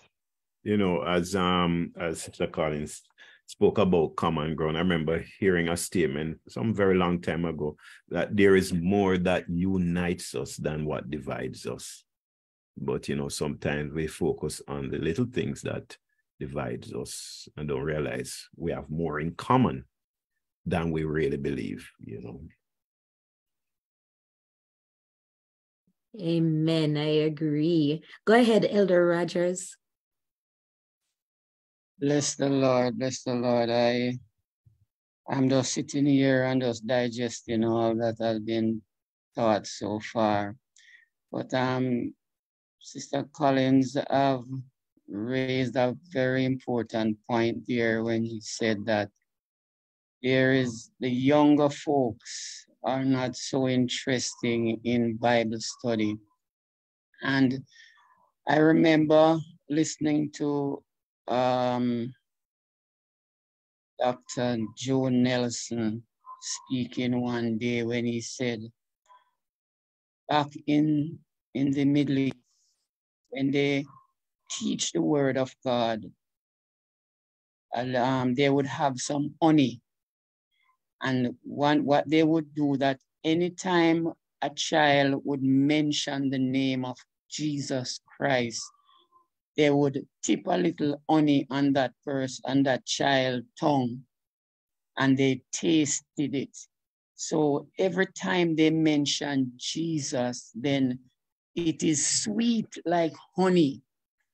So that name becomes so sweet in their taste. Now we have a set of teachers, so-called teachers, that is actually instead of bringing people to God to enjoy the sweetness of God, then what they're giving them is something that give them some kind, there's a thing that they call colic when you you just don't want to be a part of it. It's not enticing. It's not, I mean, there was a there- there's a verse of scripture in John that says, when the kingdom of the gospel is preached, those that hear this message are forcing their way into it. But they have some teachers who are causing you to run away from. I mean, they're saying, if this is what this is all about, I don't want to be a part of it. I mean, our teacher tonight, God bless you. God bless you. Thank you. Bless you. Bless you too. You know, um, just just following up on Elder Rogers, the, he's quite right. There's a lot of damage that has been done. Um, and uh, it's to take a lot of work to undo some of the damage and hurt as far as the teaching of the word is concerned, you know, but a lot of um, damage and poor teaching. And uh, we have a lot of folks that are seriously misguided as a result of that. And um, as it relates to young people, I know this is not necessarily a forum. I know um, Evangelist Michelle, she's doing such a fantastic job with, with the youngsters. And uh, there are things she probably, you don't know that she's doing. She's not just teaching youngsters on a weekly basis, but she's reaching out to youngsters, troubled youngsters as well, those that have been um, abused in different ways. And um, she has a very powerful ministry that is going on. So she's one of those persons God is really raising up in these last days that that can actually touch these youngsters, not just teaching, but actually understanding them um, and using methodologies that does help um, in communicating this word to the youngsters because sometimes the methodology that we have used over the years it doesn't work. I was sharing um, with someone last night uh, about the uh, what is it now? Um, something sunk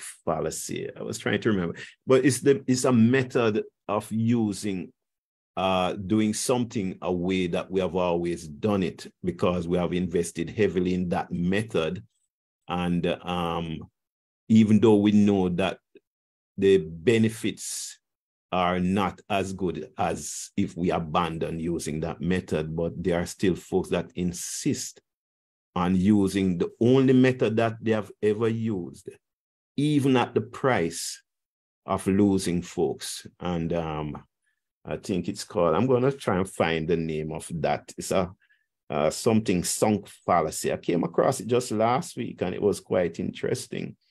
Um, so the methodologies will definitely has to change. Is somebody saying something?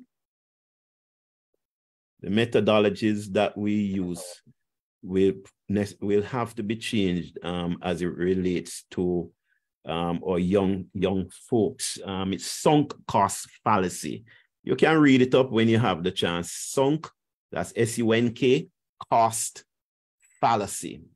And it's the method of using something that really doesn't have any benefit anymore. But because we have heavily invested in it, we still use it, even though we know there is no benefit from it. And until we fix that, we're going to be keep losing a lot of our youngsters. And I like what Sister um, Carrie Ann is doing, using the technology, which the youngsters are using, and not seeing the technology as the devil's system, as some people see it, but she's using it and she's actually uh, making a good footprint in the lives of these youngsters. God bless you, Sister Karen, for what you're doing. Our prayers are with you continually. All right, over to you. Hallelujah. Indeed. Thank you so much. I receive it in Jesus' name. I'm going to look more into this. You know, as, as Elder Rogers was talking, I said to myself, mental note, you need to do this whenever you have, you know, an, an in-person teaching, get some honey and put it, you know, just just encourage them because I love it. It's so beautiful. It's Jewish practice. My it was a Jewish God. practice then. Yes. Yes, I love it, man. This is an intro, and this is something different to, to us here in the Western world. I love it. My God, beautiful. Go ahead, Evangelist Coda.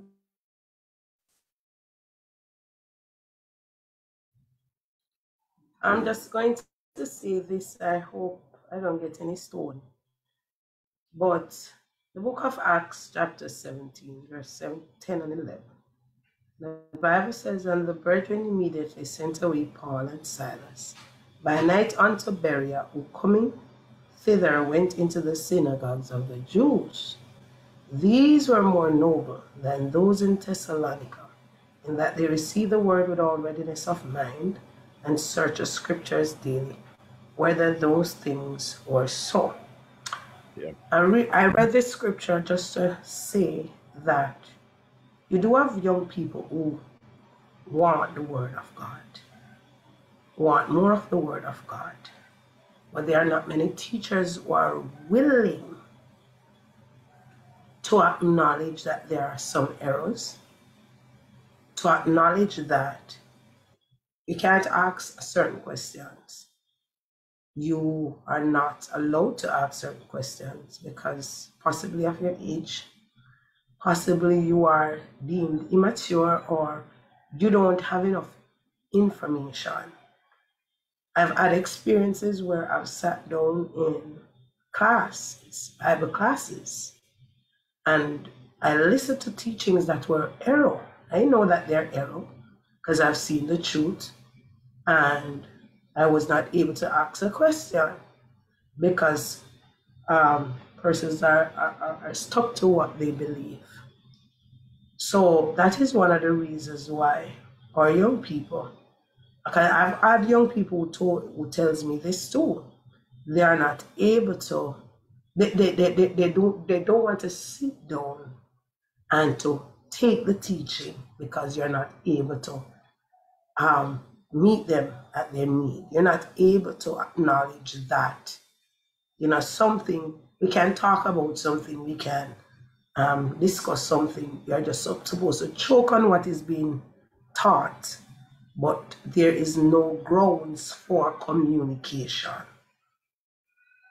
There are some young people who really spend time reading the Word of God, who really spend time studying the Word of God, and spend time in the presence of God. And if you spend time in God's presence, the Holy Ghost is, is, is the interpreter of all scriptures, and God is able to guide you through the scriptures. God is able to teach you His word. And so I believe that there's no man that is too big or too old with no disrespect to communicate the scriptures based on what the revelation of the Holy Ghost. And so that's why I appreciate Elder Collins, Elder Sharp, Elder Hill, and others because we're able to have a discourse. We're not perfect, but young people are struggling with this is concerned, and I am one of them. God bless you. That is true. Glory be to God. Go ahead, Elder Hill and the Hill family.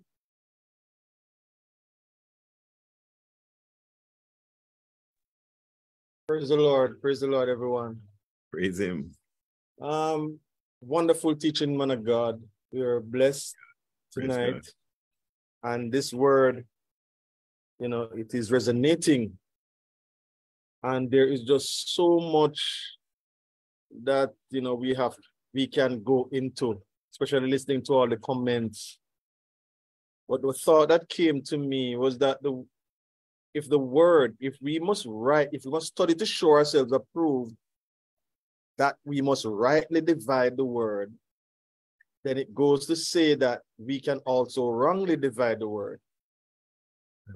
And I believe there has to be a place of accountability because you have people who have raised up themselves, so to speak, gathered flocks among, you know, gathered flock, and is, is teaching. And there is no one there that is holding them accountable for the things that they're saying. And these things are going across, as Sister Coda just said, to people, and they cannot question it. They just have to take it. You know, there has to be in the body of Christ some measure of accountability. People has people have to be held accountable for the things that they're saying. A lot of these things, if we look at Africa and what is happening there now, I mean, this the, the rise of these so-called prophets and hmm. men of God and papas, and they're telling people to eat grass, they're, they're stepping on them, and a lot of things are happening in the name of Christianity and religion.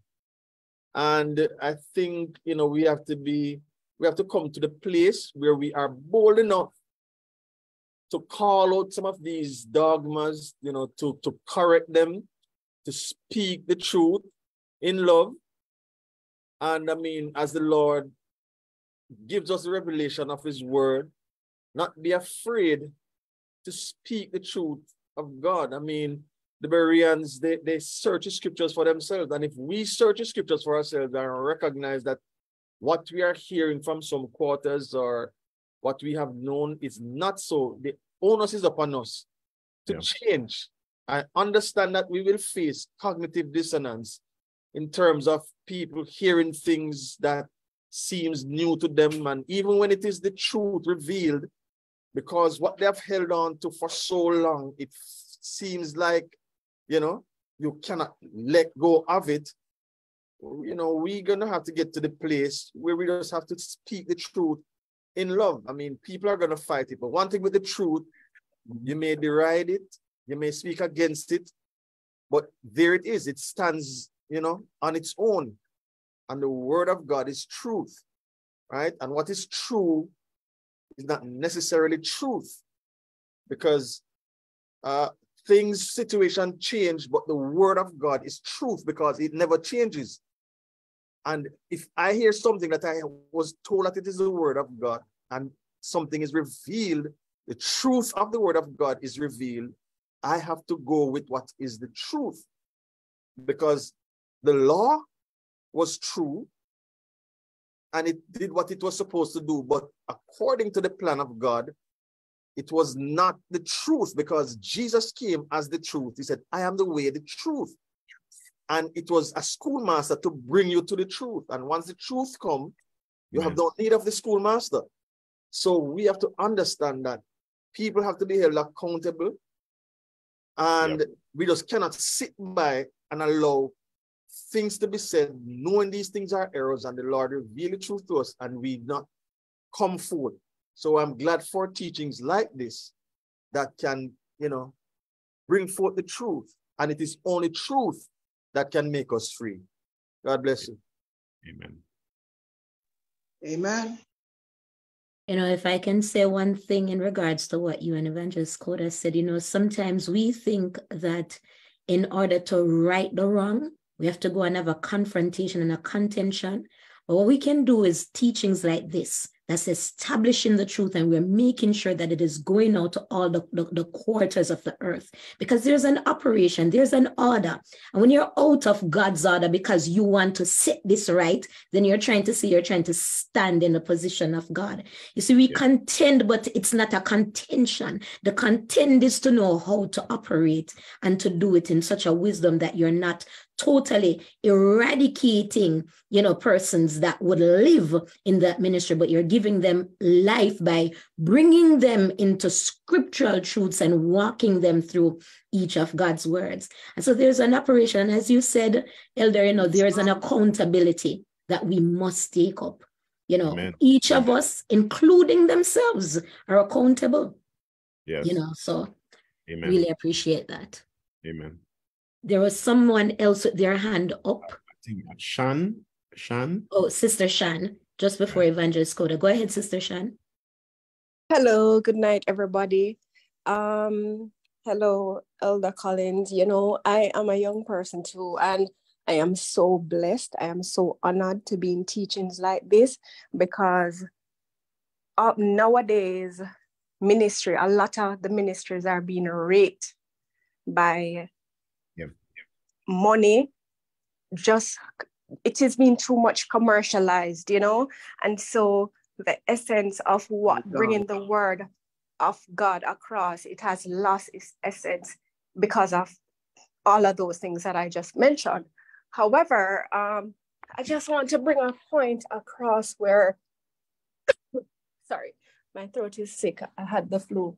I just want to bring a point across where you know when i just started ministry when I just went into the church. And I remember the first time, I'm sorry, I went into church.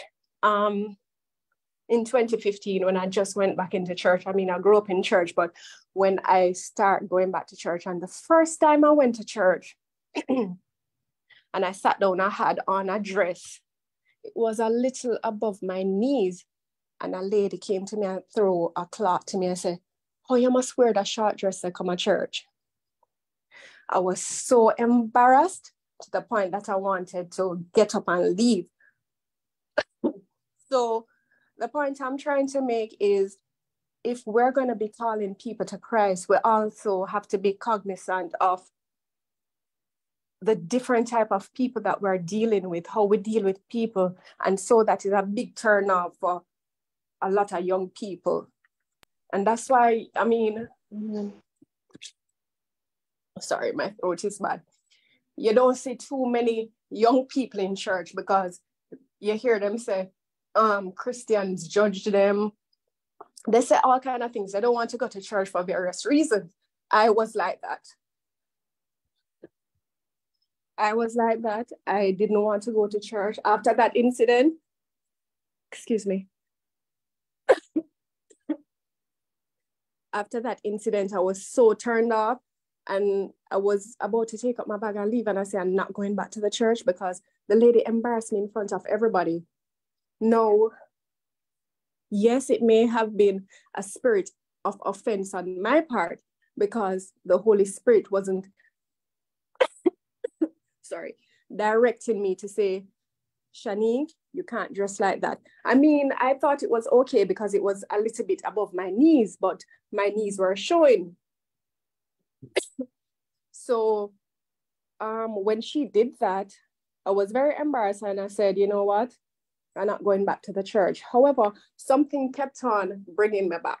And now I'm at a point in my life where I can look back and say, you know, when I step in church, you can know that I'm dressed by the Holy Spirit. Amen. And so we have to be careful how we bring across things to people. And I'm so sorry, guys. How we bring things, how we bring things across to people, especially young people, you know, they grow up mm. with this notion that you know they're being judged church people are not good christian people are not good and so it is a big turn off but it is such a blessing for me to be in here, to be receiving this word, to be able to mm-hmm. when I when I come in this Bible study, sometimes I'm not able to because I have work and sometimes I do forget, sorry. But I tell you, when I come in this these sessions on a Monday night, I take a lot of notes and I do share the notes with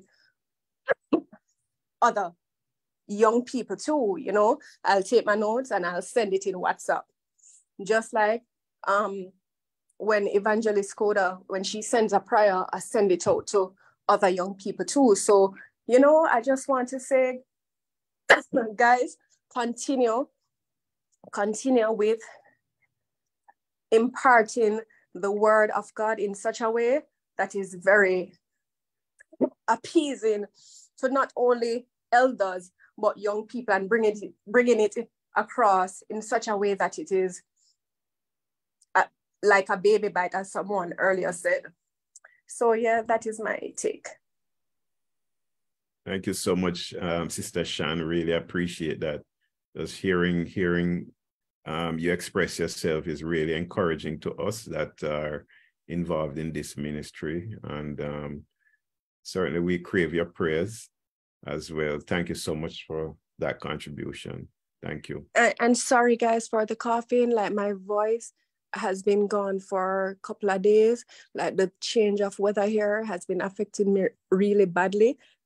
Yeah. And so I have a terrible cough, a terrible cough to the point where I had short of breath, but it's getting way better. So I do apologize for the coughing.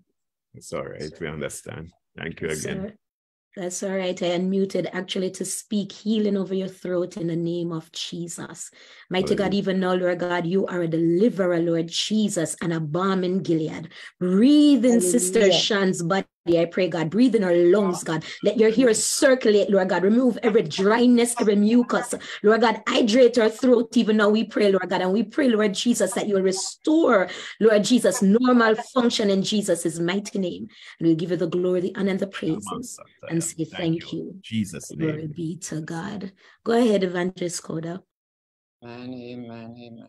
Amen. I wonder if we're going to end tonight, but I want to ask Elder Collins, I want to ask you something.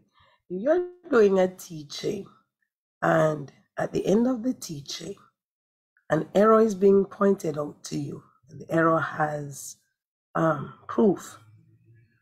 What would be your response? So it's pointed out privately. What would be your response? Or I mean, like someone um, write in the chat privately. No, reach out to you or after the teaching or so, just to say that you said this, but based on proof, this is it. What would you do? Okay, so um, it's always up for discussion. Um, I certainly, as much as I pray that God leads and direct, I have never taken the position to ever think that what comes out of my mouth is infallible. And neither should anyone that teaches, preaches, because we are we are still men, we are still human beings, and um, we can make mistakes. And this is why we have the question and answers. So uh, once once the time will afford discussion, we'll discuss. And even in discussion, it should not be one where I'm trying to push my idea on you. It should be one that is open because I can learn from you, you can learn from me. And I, I don't have all the answers. I'll be very honest. I am still learning. I am still learning, and we all should be still learning. So, you know, that's me. I'm I'm I'm I'm open to to, to conversations. So this is one of the biggest things that I, I personally struggle with because I'm careful with the information that is that I receive. Um, why? Remember I'm one that releases information. And so if I receive information that is not um, um, correct and I releases it, I'm, I'm furthering something that is not not not correct. And so this is one of the issues that I have. There are many that are not willing to accept um, where something is, is is incorrect, and we continue until it become a gospel. When it Yeah. become a gospel, then we're not able to correct that. And it goes down into, you know, one of the things that we continue to do as um, people of God, I find this, find out that we make something doctrines and we we create our own path and we want people to just continue into our own ideologies and doctrines even if it is error and this is, this is one of the things that I struggle with greatly.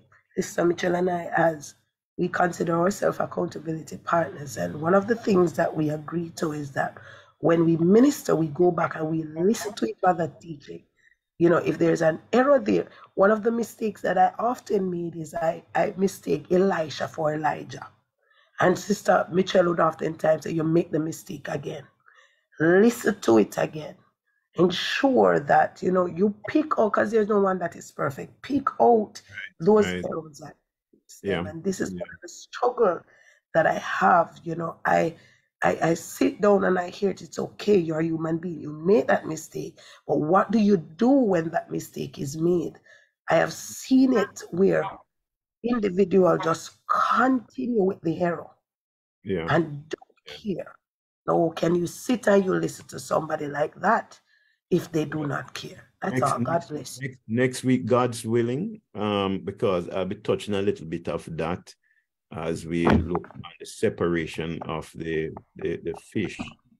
Um, we'll be looking at uh, different groups that have popped up since uh, 1970 coming up and what exists now, even in some of our churches and some of the teachings that are taking place. Uh, the, the Bible does have an answer for everything, you know, and um, it's just that not everyone is rightly dividing the truth, and not everyone that takes a microphone or calls themselves a teacher are even properly taught. And so that is why we have terminologies like exegesis and hermeneutics and all these kind of things, because there's a way to rightly divide the word. And um, some people use what they call um, first principle. Um, and they, they, they believe that everything that happens in Genesis is, um, you know, once it appears in Genesis, that's how it's going to be right through. You know, it have its merit, but it is not a reliable source for solid Bible teaching. Hermeneutics is what is more is more um, reliable because it looks at context, it looks at um, origins and all that kind of thing. So, um, and this is why we have errors because people are not properly taught. And some people use one verse of scripture to create a doctrine and they are determined to just run with it. you know. But um, God's willing, next week we we'll look look on this a little. You know, no no promises, but we'll try and look on this a little. All right. And if I could add to that too, you know, I want to say that it's okay to go back and adjust if you have an error. You know, I was teaching on a Friday night on um, the tribes of Israel, and I tend to forget. Even right now, I still cannot remember the one that was um, joined with Judah in the southern kingdom. And so that night I made an error in mentioning who was aligned to them. And somebody typed it in the chat, but I only read a part of it. And when I went back over, because I love to scrutinize and make sure that I'm doing it right. When I went back over, I saw that and I came the next week to adjust it. I don't want to be responsible for leading people into error. And right. so, Evangelist Coda, that's a very um, valid question that you have asked. I pray that everyone that ministers the, the, the, word should look into themselves and see if somebody has corrected me with something that is clearly not it. I have a responsibility to go and fix it. Do you want to be a false prophet? Do you want to be a false teacher? No, you do not. So you're responsible for the information that you're releasing. Release truth. Fix it if you need to fix it, but don't let it stay there knowing that it is wrong and everybody should be a Berean. You yeah. know, cross cross examine everything you hear. I, I I I am weary of preachers that will tell you when they open their when they preach when they're going to preach and they they quote their scripture. But these might be textual preachers, they might not be expository. And when they when they're finished quoting the scripture that which that we're going to preach from, they tell everybody to close your Bible. I don't want anybody with their Bible open. No, they can't get me to do that, you know, because I'm like a Berean. I am taking every word they say and I'm going, my Bible is constantly over, whether it's the paper or it's going to be on the tablet or the cell phone, whatever. I'm constantly examining. I'm not, I'm not necessarily just checking you out, you know, but that's just me. And I think everybody should take that kind of a position. Don't, don't, don't swallow everything you hear. Not not from me, not from me either. You know, because I do make mistakes, right? and I'm the first to admit that. And amen. I agree. Go ahead, Elder Sharp. Your hand was up, sir. Praise the Lord, everyone. Praise God. You know, I sit here and I'm I'm smiling. We're doing overtime tonight. I'm smiling you know, just listening to the comments and all of that and the explanation. Elder Collins, God bless you. Vandis Mitchell, God bless you. I want to look at, tell you a story about something that we keep doing. There was a mother. She always watched her mother when they buy the ham her mother would always cut the ham bone in two and put it in the pot and cook it. And several years after, the daughter got a bigger pot, but she would still cut the ham bone and put it in the pot. One day her daughter said to her, Why is it, mommy, that you always cut the ham bone and put it in the pot? And she said, because my mother always cut it and put in the pot. and she went to her grandmother and said, Grandma, why do you always, you used to cut that ham bone? And she said, because the pot was too small to hold the whole ham bone. so I cut it and put it in the pot. And she said, but mama have a bigger pot now. And mama still cutting the ham bone and putting there. I say that to say this, brethren. sometimes we see some things happening and we don't understand why it used to happen. You see, some of the things that we used to do when we were younger, we follow somebody else and do it, and we don't understand why they did it. Now that you have a bigger pot, stop cutting the ham bone, huh? put it in the pot, it will hold. my God, my God. I say that, that brethren, because I want yeah. to bring a point across. I once heard of a prophetess who said to the young people, don't carry your phone, come to church and talk about your reading the Bible from the phone because that is not the Bible. The devil is a liar. Listen to me, brethren. I carry my phone to church, carry my tablet, and if I have my computer, I carry it. And sometimes I leave my Bible at home. The Printed I, Bible. you see, brethren, if we are going to be able to relate to the younger folks, yeah. we have to change with the time. I don't say yeah. change the, um, the word, you know, I say change with the time. Right. To understand what is really going on. Yeah. I heard Sister Shan said something and it troubled my heart. Yeah. That she went to church and because her dress was slightly above her knee, it caused a problem. Let me tell you something, brethren. I looked at a picture some time ago, and there were some sisters that were standing beside the bishop of the organization. And their dresses were about four inches above their knee. Do you know that when I used to go to school, the rule of the school was the, the young ladies' dresses must be four inches above their knees. Ah, what has caused some of the problems in the church today, especially with the young lady that her dress drop on her knee, is because some of us as men, we have sexualized the sisters in the church. Mm. And until we start correcting some of these things, some of these poor sisters come and they don't have anything more than the one little dress. Sometimes our sister yeah. dress she put on yeah. and come to church and we're going to embarrass them. Some of us men need to put band-aid over our eyes that we cannot see some of the ladies. We have the problem. Why are we putting it on them? If that's all they have, brethren, for crying out loud, when they come to church, left them alone when they come to praise God. Can we get to that place that we stop sexualizing our, our daughters, our mothers, our sisters? We talk about culture and brethren. Do you know that there are some places in Africa that the women are um, go bare breasted? Yeah. How would some of us, Amen. some of us as men, how would we manage? How, in Jesus' name, would we manage? Until we get to the place, brethren. And I believe in modesty. Let me hasten to say that. Yeah. But modesty is a relative term.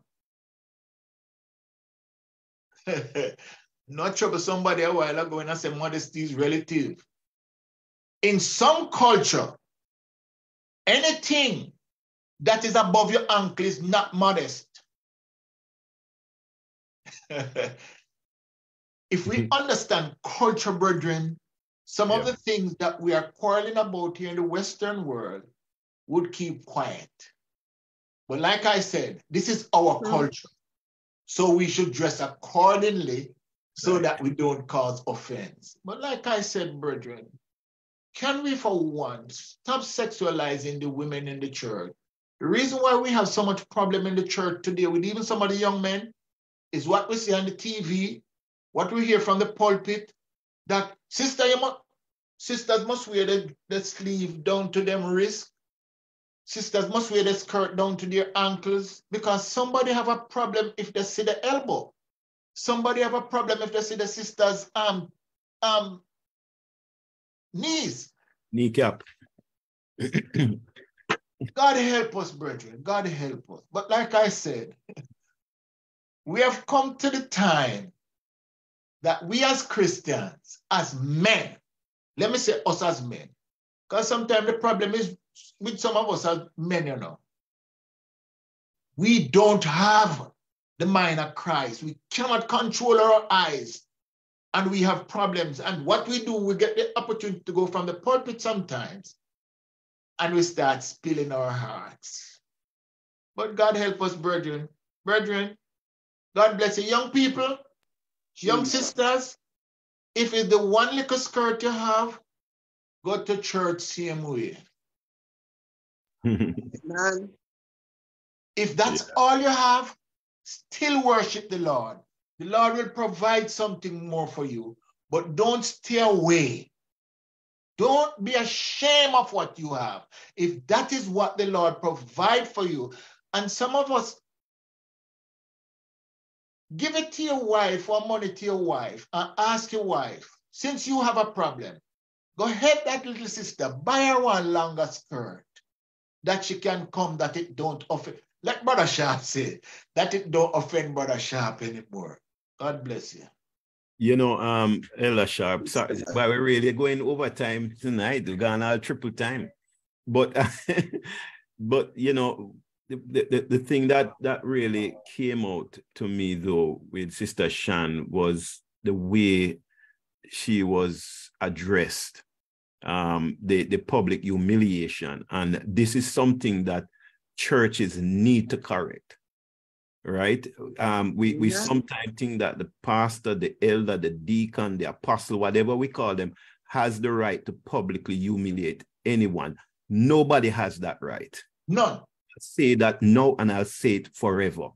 No one has the right to publicly humiliate anyone. In the book of Colossians, chapter 4, it says that let your conversation in New International Version be always full of grace seasoned with salt so that you may know how to answer everyone. And we can look at the different translations or words that we use. If we if we when we speak in love the bible says speak the truth in love. Thank you sir. And in love don't mean just with love because some people say must speak the truth because i love them no you must speak it in love which mean in a loving way if Amen. you don't like nobody, humiliate you and embarrass you, you don't do it to nobody else. Exactly. Irrespective of your title and position. And like what Sister Shan went through, that if the person thought that she needed to correct her dressing, she could have taken her one side, ask her, um, are you having a problem with, with, with a dress? Do you need, can we help you? Or something like that. But you don't humiliate people and then stand up feeling that you're so anointed and say you're standing in your apostolic authority and the Holy Ghost inside of you and all that. That's no Holy Ghost. Not at all. If Not God knows humiliate us, why should we be humiliating anybody else? And that really is the part that really troubled me because yes. some of us, you know, in our self-righteousness, really don't know how to talk to people. And Amen. we're trying to fix the church and we're trying to scale fish before we even catch it. If you notice, it was after they brought the dragnet onto the shore Thank that you. they started now sorting things out. We trying to scale them while them still in the sea. And as a young convert just coming in, you know, that certainly was not the way for it to be handled. But I, I trust that the church, church leaders and those of us that are missionaries and whatever in our churches will change our approach so that we don't drive folks out of the church you know, we try to preserve the the holiness of our assemblies. Back to you, um, moderator. Amen. So after these two, we're not going to take anymore because we're long past the time. So go ahead, Sister Shan. I'm back with a better voice now. Um, that was my first time going to the church, so it was a big turn up. Okay. But I have a question for Elder Collins that I, and I don't want to stray too much. Sorry, I don't want to stray too much, but do you think, or in your opinion, do you think one of the reasons why you may not see much young people in school, for instance, Bible study, is it because ministry has gone to this thing where you know, you, you'll see a lot of young people in churches that where the pastor is prophesying or they go on a platform and as they go on, a pastor pick them out and say, you, you are going to do this, you are going, to. do you see that more people, not even just young people, but more people are gravitating to that sort of thing. I've seen it because before I met up with Evangelist Coda on TikTok, thank God for her. Um, I was invited to several um, prayer meetings, certain Bible studies, and you know, it's always about prophecy, and it's almost as if people are paying for prophecy. And that is why I mentioned earlier that a lot of these hurry come up prophets, pastors, they're raping the ministry. And I'm wondering if all the people are pushing, are being gravitate or, or it, they're gravitating towards that sort of thing because people don't think that they can hear directly from God because they're not they're not um, having that personal relationship with God. They don't have that platform or that forum where they're being taught the word of God properly, but them just want to hear something from a pastor that can tell them this is going to happen to them, that is going to happen to them. So Elder Collins, do you think that ministry has gone to that now where most or more more people are gravitating to that sort of thing. You, you pretty much have answered it you know you have hit the nail on the head. Um there's too many people in christendom that are seeking a personal prophecy in their life and this seems to be the the new order of the day. Everybody wants a personal prophecy. And it and that happens because people have lost faith in what the lord has said concerning them that they are special. So they, they, they, it's like you want to feel special and you want everybody to see that you are special. So everybody is looking for the opportunity to be to be singled out so that you can show up, say, hey, see, them singled me out, I'm special. But you know, you, are quite right. You, you did hit the nail on the head. There, there, there is too much of that happening right now, and it is causing a serious um, misguidance even for young people, you know, um, they're, they're really missing out on really having that relationship with God because they're relying on a personal prophecy. And we don't need that to survive in this day. We just need the word. We just need the word. The scripture says, God in sundry time and diverse yeah. manner spoken unto our fathers by the prophets hath in these last days yeah. spoken unto us by his son Jesus Christ. Yeah. So I tell people anything you going to tell me, you know, that the Lord said make certain it match up with the scripture. If it don't, I will reject it, and I have a right to do that. Oh yes, you do. yeah. If I if I can say something here, I saw Sister Coda's hand up. Sorry for cutting in Sister Coda. Um, it Sister Shan really brought up a very, very important situation. And I think it's one of the problems that we face now in the church, the, the, the modern church. Um, we do not take or we take for granted the written word. Anything that God is going to say, He has already said in His word anything you hear God say, or somebody say that God said, it's actually a confirmation of what he has already said.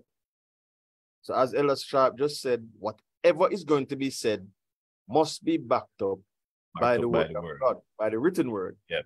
Now, Elder Collins spoke about it earlier, and I'm telling you, there are pastors, there are preachers who come into the pulpit with a songbook. Or they come with a song and they preach from the song. And they say they don't have to open the scriptures, they don't have to open the word. And I'm telling you, saints of God, we are having a problem. And just like how you have the eunuch baptism that we sometimes ascribe to, that we just come and preach and take up people and baptize them because we say the Ethiopian eunuch says, see, here is water. Mm-hmm. Anyhow, oh, we don't have structure, we are going to have problems. Yeah. People baptize after they or should baptize after they believe. And how you believe? Believe after you are taught, right? Mm-hmm. And I'm not saying somebody can just come and, you know, be led to be baptized and, and baptized, but people should be baptized after they believe, right? It is not the baptism that saves you, is the belief that saves. That's right. And we, people of God, we have put this emphasis on prophecy. And there are people, um, Pharaoh, and most leaders in the in the early centuries, even in, in even to now, most leaders always have what is called a prophet, right? Hitler, he had prophet. Pharaoh, he had prophet, right? And they would consult these prophets. And this thing, I think, got away to the extent that the word of God was lost. And when, um, I think it was Josiah, your teacher can correct me here, when he recognized that the Yeah, was found, he rent his garment, right? Because we were operating all this time and this was the word of God that we were not going by, right? So we must understand, people of God. If right now there are some people that if you go up to preach and you come with your notes, you seek out acceptable words and you come with your notes. Some churches they turn off, some pastors them not call you back, right? Because you must just come and preach out a thin ear and call out this and call out whatever. And that is sort of the order of the day. And everybody want a personal prophecy. You understand? We must get back to the word. I have Right. seen churches where the people don't need, don't read the word anymore because they are looking for the prophet or the prophetess to come and say, Thus said the Lord God Almighty. So them not read, need to read the word again because once the prophet can come and say, Me see you, I see you, and the Lord says so and so, me no need to read the word again. So me just listen to the prophet and me carry soft drinks and crackers go and give the prophet all the while because me want a little word. You understand? We need to get back to the scriptures. Amen. Amen. Amen. God, so true, Elder Hill. Mighty God, I love it. Go ahead, Evangelist Coda. God bless you, Ella. Thank you so much. Sister Shan, if you recognize on TikTok, if there's 300 people on TikTok, 200 of them is dropping their name in the chat asking me to give them a word. I could be teaching the word of God, preaching the word of God. I'm telling you, 200 of those comment, people commenting, are asking me either to pray for them, give them a word. Two of the things that people really run after is one, prophecy, and two, blessings. If you are pronouncing blessings over their lives, they will run you down if you prophesy. But you remember the night when I was preaching about hell? How many of them run off that line? They don't want to hear that. But guess what? The good thing is the ones that are supposed to receive that wants the word of God, they are going to get it. And the people that are being saved are the ones that really want God. You don't have to worry when they come and say, I am ready. You know, it's not a prophecy why they are turning to God. It's a very word that brings them to God. But what I wanted to say is, I remember um, I saw a young lady. She was about 16 years old. Um, she used to attend a church that I used to go to. Um, I saw her in a store and I felt like the need to, to go and to encourage her. I could recognize that she wasn't in a position of um, where she was. She was more leaning toward the side of, you know, coming out of church. And so I was just led to encourage her. I went and I hugged her and I encouraged her, saints of God. I encouraged the young lady so much that, you know, she felt so warm. I could see that there was a glow coming from her after I finished talking to her. After I was done talking to her in that store, I went into another store and there were some church people in that store from that same church. And sh- I was talking to them. No, no, the young lady walked through the door and I hear one of the church sister give out. You left my pants now to shots, Batty Rider. And where you go next? I said, my God. I just lay a foundation of the, on this young lady that would have caused her to know, just want to come back into the love and the fold of God. When I saw the young lady look at that um, church sister as though she looked at, at her with such disgust. My God, I, I waited until she left out of that place and I went back to her and I said, This is the reason why God allowed me to console you in the beginning. Listen, God doesn't look on the outward appearance. He look at what is in your heart. And the only thing I want you to do is to love God. Because if you see, if you don't love God, you cannot serve God. She was so broken, saints of God, just a few minutes between that. And there it goes. There it goes. So I want to say, let us let us treat them differently. Let us understand them a little bit more. A lot of a lot of young people have been broken and have been going through a lot. And if you're not able to meet them at their need, they're not going to listen to you. We have to understand that our young people have something called peer pressure to deal with. It's not a easy thing, you know, to constantly wear a skirt, to constantly wear a dress when they're, they're seeing their peers wearing a pants and doing other things. And if you want to, to, to, to somebody to follow a certain guideline, you do not force it, you encourage it. Encourage it, do not force them. That's all. God bless you. Thank you. Amen. Amen. Thank you, Evangelist Koda. You know, we're going to end um, tonight, but I want to leave this note with us. Remember the care that it takes for a fisherman to pull his dragnet out or a trawl net. It is the same care we as a people of God should have for each other. Romans 12 talks about honoring each other above ourselves you know, the teacher should wait and teaching, the prophet should wait and prophesying, the minister should wait and ministering, because as the Lord has done to you, so should you do to another. Amen. And so tonight, I want to encourage the body of Christ. Let us see each other as ourselves. You know, if we truly see that and value souls like Jesus does, because a fisherman knows that his catch is his riches. So he treats it well because that's his finance so would we, if we understand that soul is heaven's currency, we will treat it with care and love.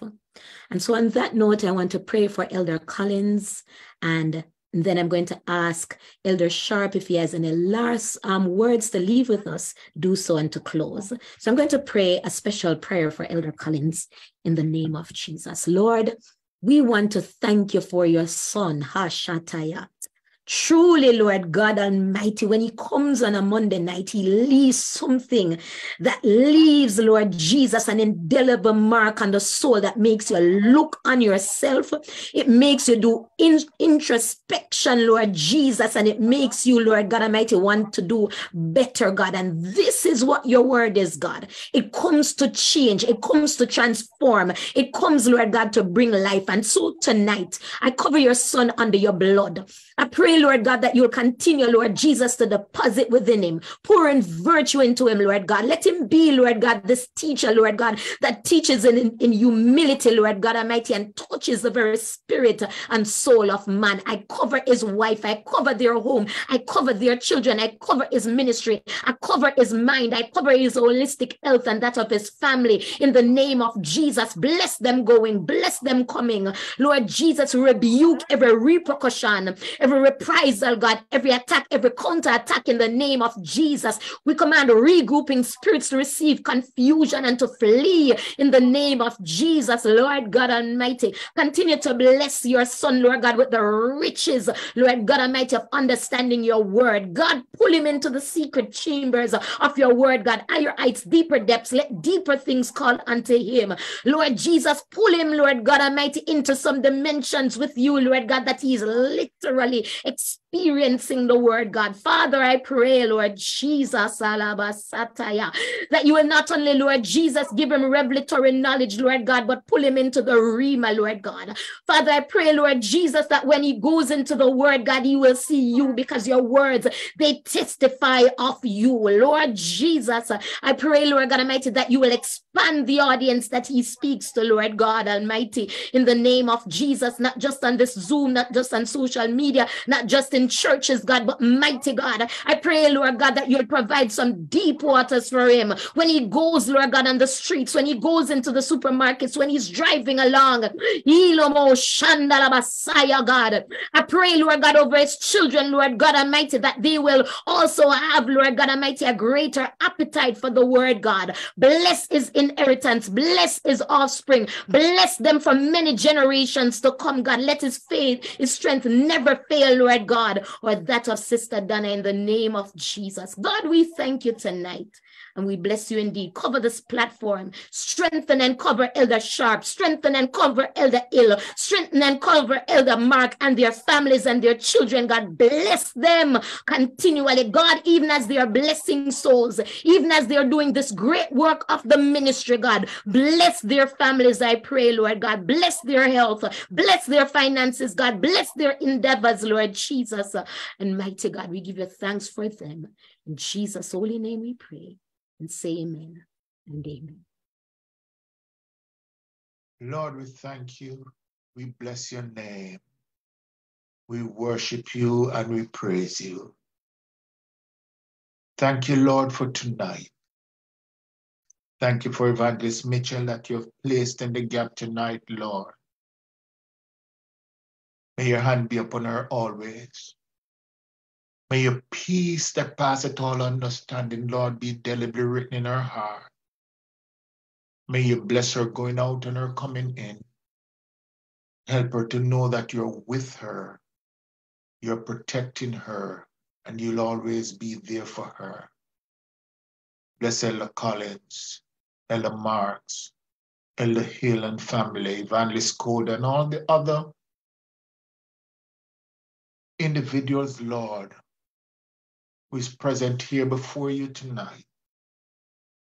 We just ask that your peace that passeth all understanding, Lord, will be indelibly written in our hearts and our lives. Help us, Lord, as we go. We'll go in peace and go in your name. Your love will always flow in our hearts. Your peace will always abound in our lives. Go with us, bless us, sanctify, and keep us. Let your peace that passeth all understanding be indelibly written in our lives, we pray. In Jesus' name, amen. The Lord bless you and keep you. The Lord make his face to shine upon you and be gracious unto you. The Lord lift up the light of his countenance upon you and give you his peace. God bless you all, brethren. In Jesus' name.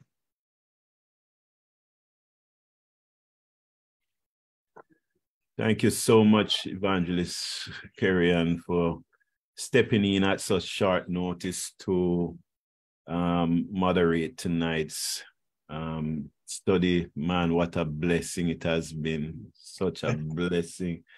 Ah, I tell you, may God continue to give you overflow. Sister Coda, thank you so much. You really contributed valuably to this study tonight, Sister Shan, Elder Sharp, just about everyone. I just want to acknowledge a few other persons. Carol, my sister-in-law that is on also. I'm seeing, well, Elder Rogers, who is on all the time. I'm seeing Deacon Laws, amen, and also Evangelist Juliet Wright. There are probably some other folks that have not identified themselves, but just about everyone, thank you so much for making tonight your stop. Amen. And we certainly look forward to see you joining us again next week, God's willing. God bless you all. In Jesus' name. Amen. God bless you all. Bless you. Bless you. Bless you, Evangelist Wright. I see you. Mm. God bless you. Thanks. God bless. Good night, everyone. God bless you all. Bless God, bless. Bye-bye.